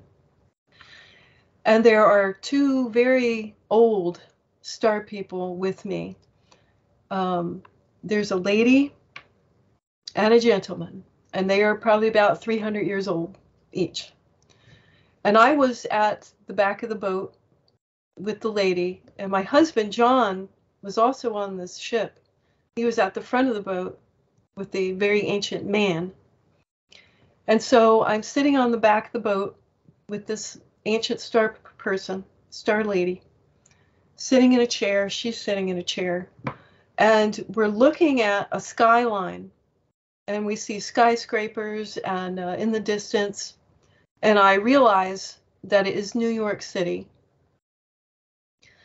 And so we're sitting there looking at this, and then the boat begins to lift up out of the water. It's levitating up off of the water, floating in the air. We're going upward. And as this happens, I see the skyline of New York City starting to melt from the top down. The skyscrapers are starting to disappear. They're literally like melting from the top down. And what is taking their place looks like a cellular structure. Like I see these little round, just looks like what cells like it would see inside of a body, a human body. And this is what is taking the place as the as the city is just vanishing. I see this cellular structure. And so this was the first time that they showed me basically the end of the world and the beginning of something new. So that was in 2011. And then after that. So, hold on, stop.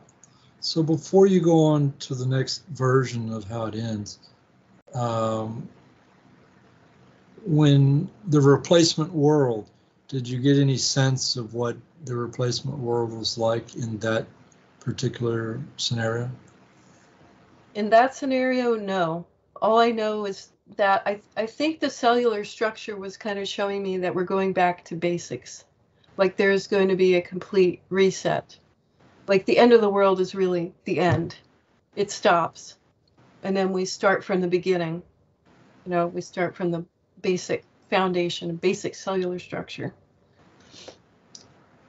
Go ahead, go on with your story. Next okay. one. Okay. so um let's see. There were there were two more two more pretty big ones, significant ones that happened. And uh, these are in the book The Shift. So in one of them, I am on the ship. I'm on this ship again, on the same ship, this wooden ship, like man made, on the same ship. It's floating in the ocean, except we are at a place that I call the top of the world. And I'm not sure if this is um, up up where the North Pole is. To me, this is the center of the Earth plane where the North Pole is, is Mount Meru. And this is the top of the world. Excuse me. So I'm on this ship. Once again, I'm sitting on the stern at the back of the ship. I'm sitting in a chair. And this time, there's someone else different sitting with me. And this is one of my classmates from the Star People School. She's another lady around my age. And we did this together. And I was aware we're going through this process of ending the world. And I was aware that there were other people on the ship with us doing it, but also other people in different places doing the same thing.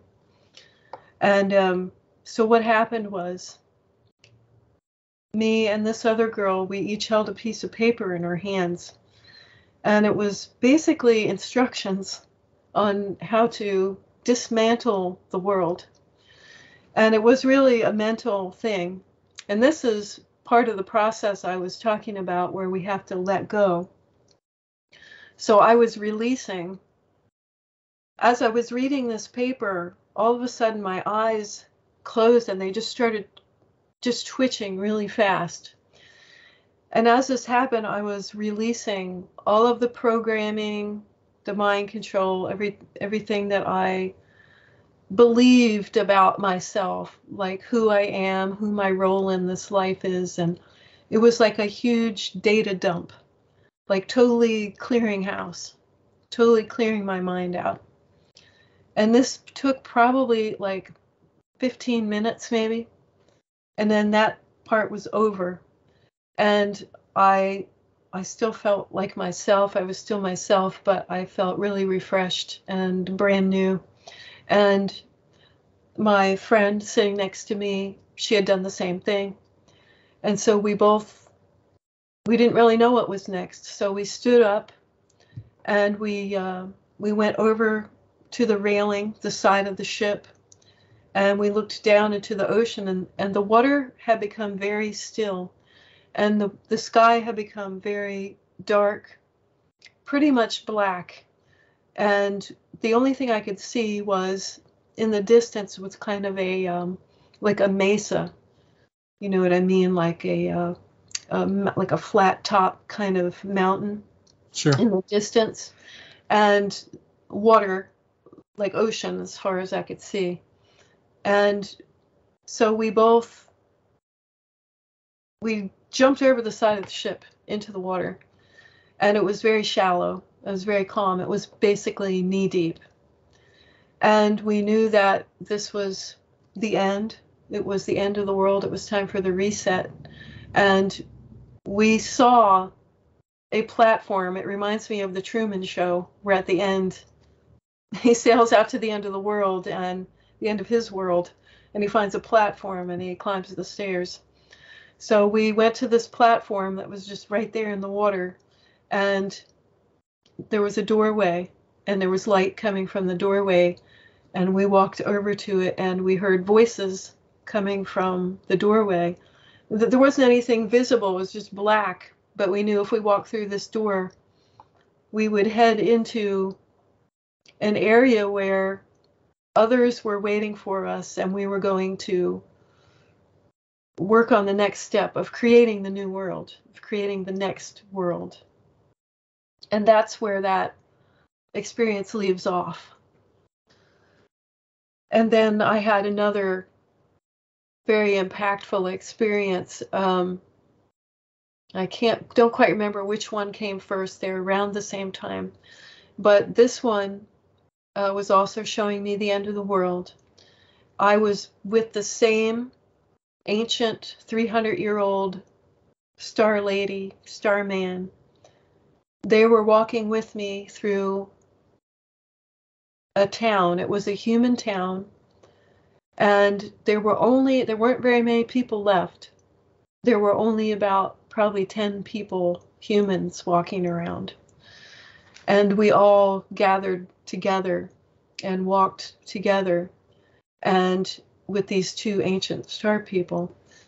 And the houses were all opened up and empty. There, there was nothing in the houses. All the furniture was gone. All the, all the, all the objects, the items were all gone. Everything was cleared out. There was just houses. All the windows were open. All the doors were open.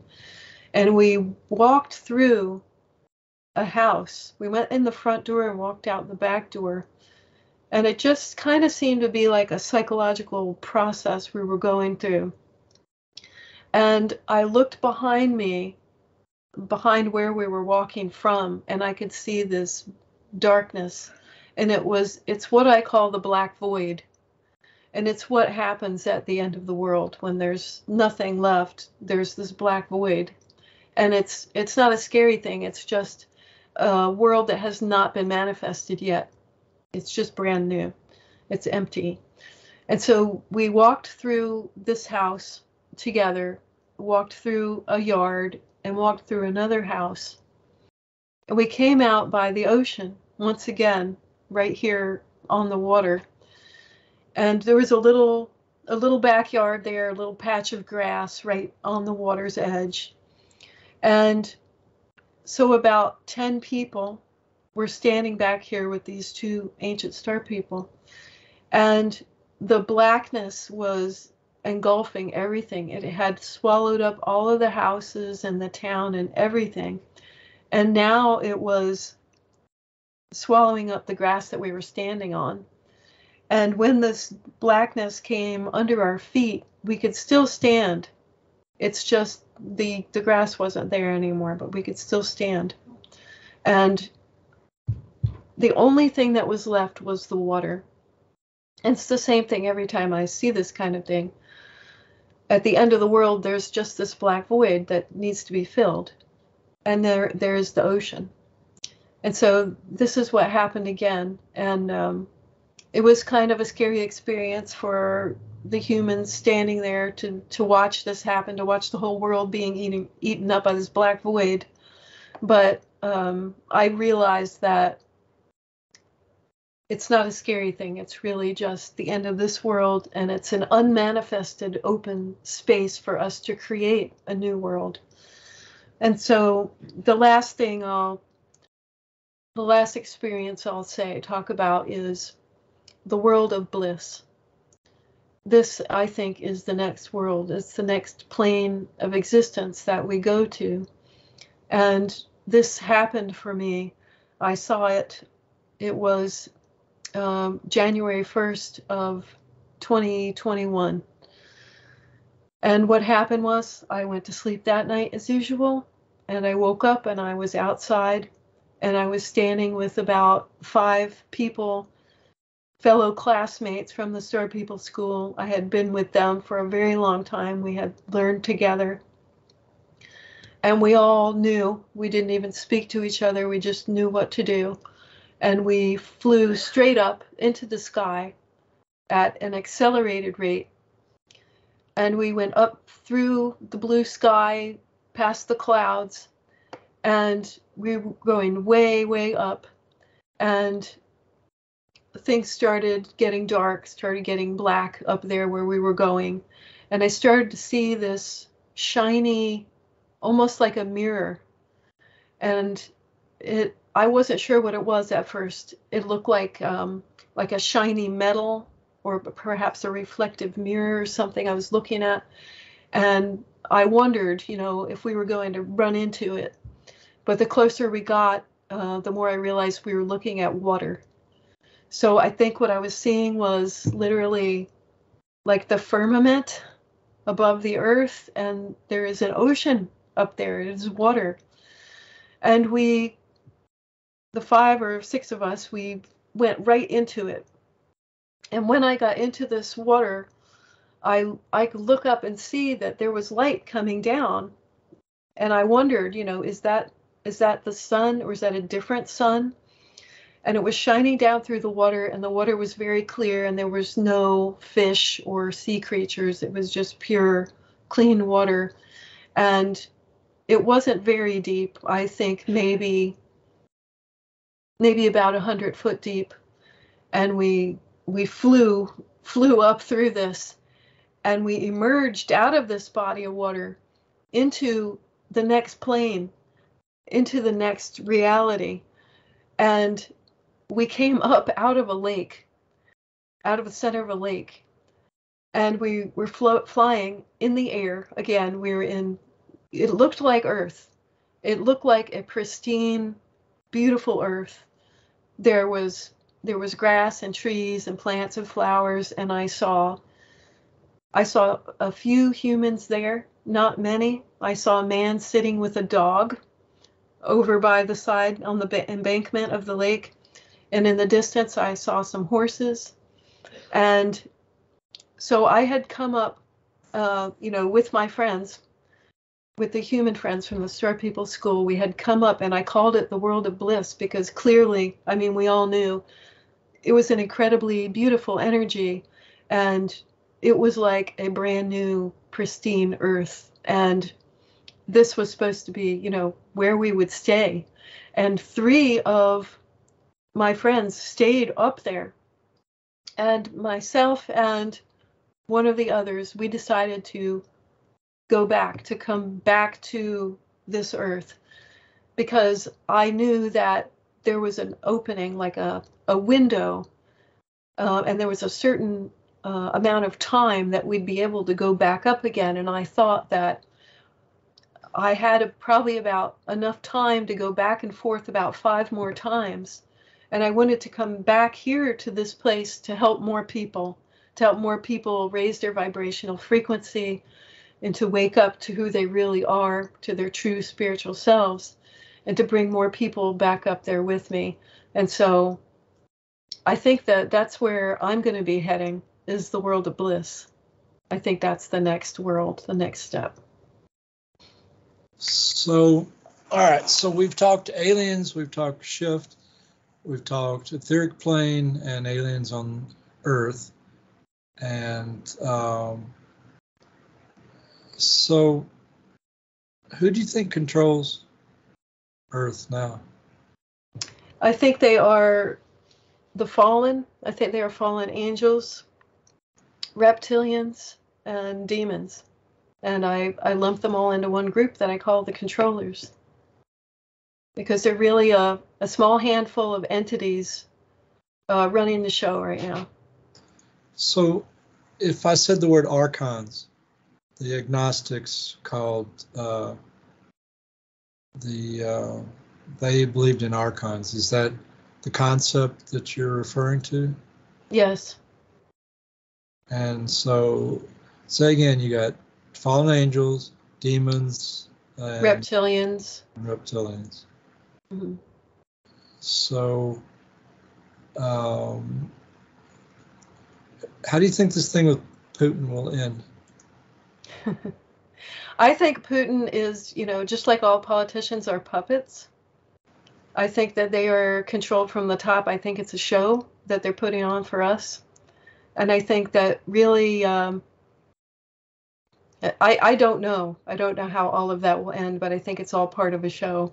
I think Trump will probably be um, become the president again, but I don't think he's the savior at all. I think he's probably the Antichrist.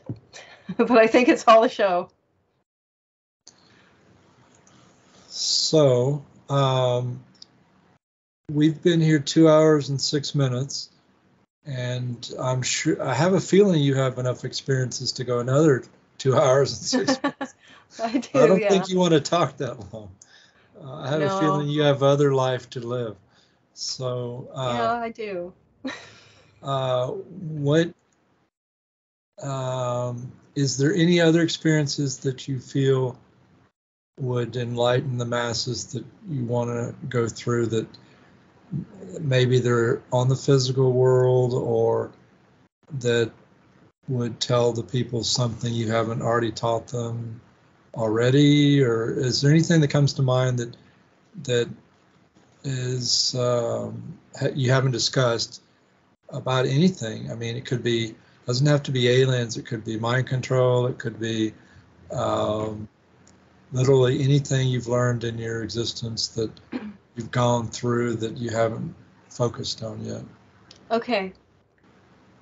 I I think the most important thing to to realize is that we are eternal spiritual beings, and I will talk about my near-death experience. great So that happened in uh, 2010, and I was at home with my husband. It happened at night when I was laying in bed, and I'm not sure what happened to me, but um, I started to get very extreme hot flashes, and I don't mean like um, you know like women have go through menopause. I'm talking about very severe, extreme waves of heat and cold, and my body was just kind of trembling, and I I kept passing out and waking up, and what ended up happening was I I was laying in the bed and I saw a bright white light with my eyes closed. And I suddenly felt like I was moving, like I was moving very fast. And through this white light, I think it was a tunnel of white light that I was moving through very fast. I could feel the movement. And I just stayed calm and I came to the end of this movement and I opened my eyes. And what I saw in front of me looked like the sun. It looked like right in front of me a orange yellow glowing disc of living energy and it wasn't it wasn't hot it wasn't burning my skin it felt warm it felt very comfortable it felt like life energy and i felt very good standing there. And it wasn't a huge sun sunshine either. It was uh, probably um, maybe 20 foot in diameter disc that i was standing in front of. And i do wonder if i came through it if it was a portal if the white light that i went through brought me to the sun, uh, maybe right through the sun. But I was standing in front of it, looking at it, and I, uh, I mean, I was confused. I didn't know where I was, but I felt really comfortable, and I didn't care too much about moving because I loved standing there. And I realized I was standing on solid ground somehow. And so I started to turn my head to look to see where I was. And immediately the scene changed. And I was standing on a beach with the water behind me. The ocean was to my back. And I was looking up in a beautiful blue sky, and there was the sun up there in the sky. And I saw a hill, and on top of this hill was a castle. And I stood there for a minute thinking, you know, wondering where I was. And then and then it just hit me. And I thought and I felt so much relief. And I felt so safe and so comfortable because I knew that I was I was back home where I had come from and that I wasn't on earth anymore. And I could feel the earth behind me, like far, far behind my left shoulder. I could feel the earth. And all of the problems that had that happened on earth were just like it actually made me giggle because when I was not there anymore, I realized that it was just a game. It was just a almost like, you know, a simulation or a game, a temporary thing that I was taking part in. And all the problems on the earth didn't really matter anymore where I was uh, because I was back home in, in the spirit world. And I felt so much relief and I was so happy to be there, uh, to be back home. And, and I just thought about all the, you know, all the problems that were just ridiculous to me now. None of it mattered anymore.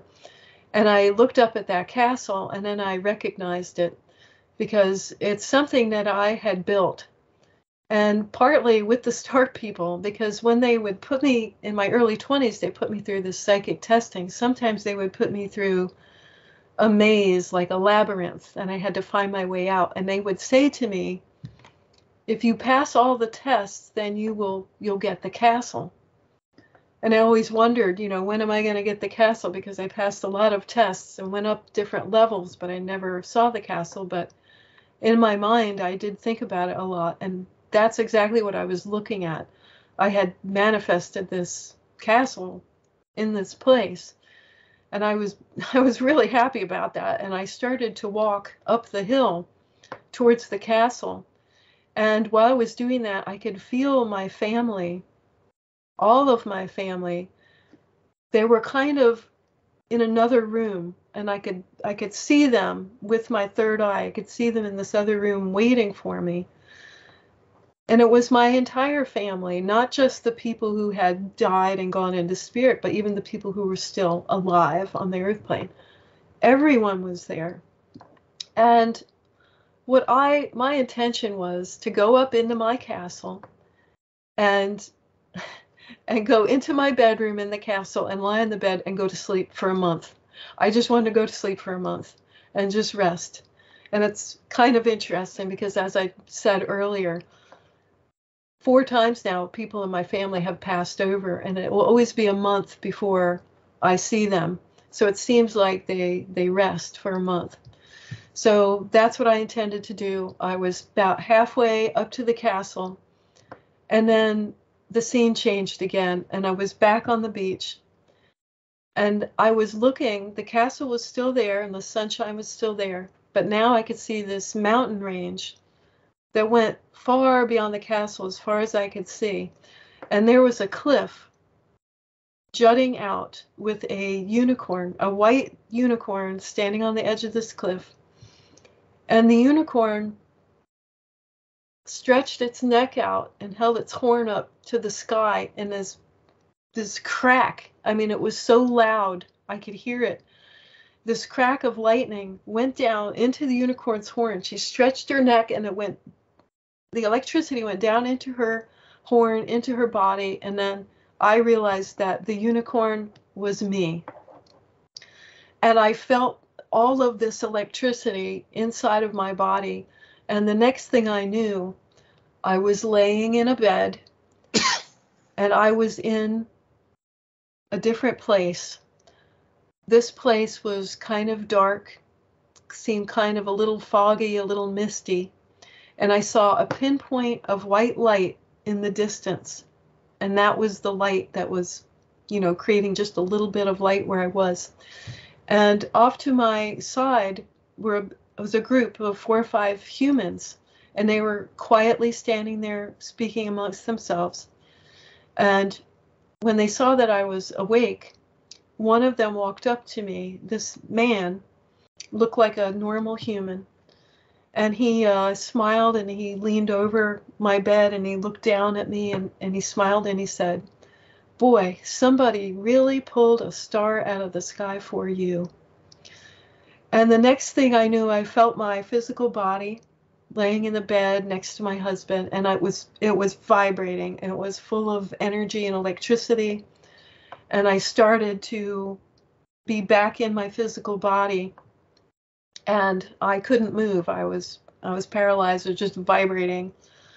And I after a few moments I guess I was able I said help like that. And my husband heard me and he he put his arms around me and he just started rocking me gently. And and I I woke up I came to and my my body relaxed and I was able to move again. And I told him what happened and and then I started crying because you know then I realized oh my god I died.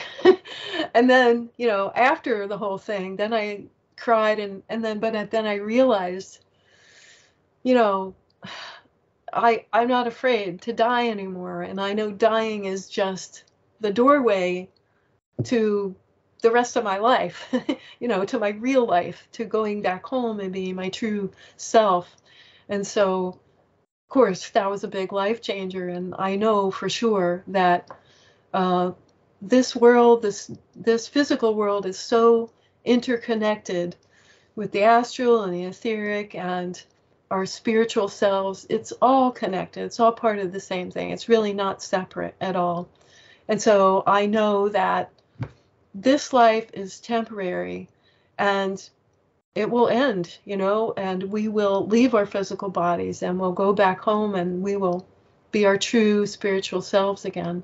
So that's the way I feel about it. And that's probably the most important thing that I can leave people with is don't be afraid you know, of what happens in this world because you are an eternal being and you are a powerful creator. You can manifest reality. And uh, that's what the star people taught me, and that's what that's what my husband and I practice now. We live in a beautiful place in Uruguay, and we we are literally manifesting a beautiful life for ourselves. And everybody can do it. Uh, is there anything else you want to say before we end the show? Anything? Um, yeah, I mean, you can promote yourself, uh, give your website, whatever um, things you want to do that help you manifest. Okay. What would you like to leave the people with that where they, uh, like for instance, uh, if they want to reach out to you, how would they reach out to you? Okay. They can uh, reach me through my website, which is Alien Abduction Help. And I also have another website with my husband John, and it is called Awaken Video. So you can reach me there and um, check out my books. That would help me. That would help support me. Check out both my books. You can see them at the website Alien Abduction Help. They're also on Amazon. The Kindle versions are on Amazon. And I've got a, a t-shirt shop at awakenvideo.org, some of my own designs from that come from my experiences. And um, So your Yeah, book so- is not, your book is not in print anymore. yeah, it is. It is in print. Um, Okay. Oh, yeah. through, through Lulu. Well, yes. Um, but if you go to my website, Alien Abduction Help, you can buy the books there. Uh, the paperback and the EPUB. And also on Amazon Kindle, you can get the Kindle version of both books. Yeah. And um, my husband and I just started doing a Friday night live stream every Friday. So if you go to awakenvideo.org, you can uh, watch us live every Friday, and I talk about these things and my experiences, and we talk about all all kinds of things that, you know, the truth of this reality that everybody really needs to know. Uh, okay, it sounds like you've finished. Uh, anything else? Any last thing you want to say before I end the show? Keep loving your heart, everybody. Keep loving your heart and never be afraid ever. This is my motto. Never be afraid ever. Cool. Uh, it's been a pleasure having you Yeah, it's been show. great. um, if you ever want to come back and talk about um, maybe more alien experiences on this realm, Okay. uh, physical realm, we can always do that again. And let me go ahead and stop the show. Okay. Thanks, Mike. Thank you very much for being on the show. You're Uh, welcome. Uh, give me your full name again. Bonnie Jean Jean Mitchell. Mitchell. All right. Bonnie Jean Mitchell. Thank you for being on my show, Bonnie Jean Mitchell. Nice It's to meet you. It really has been a pleasure. And thank you. Tell your husband I said he's a very lucky man. Thank you, Charles Michael Beaver. I love your name because I love beavers. there we go.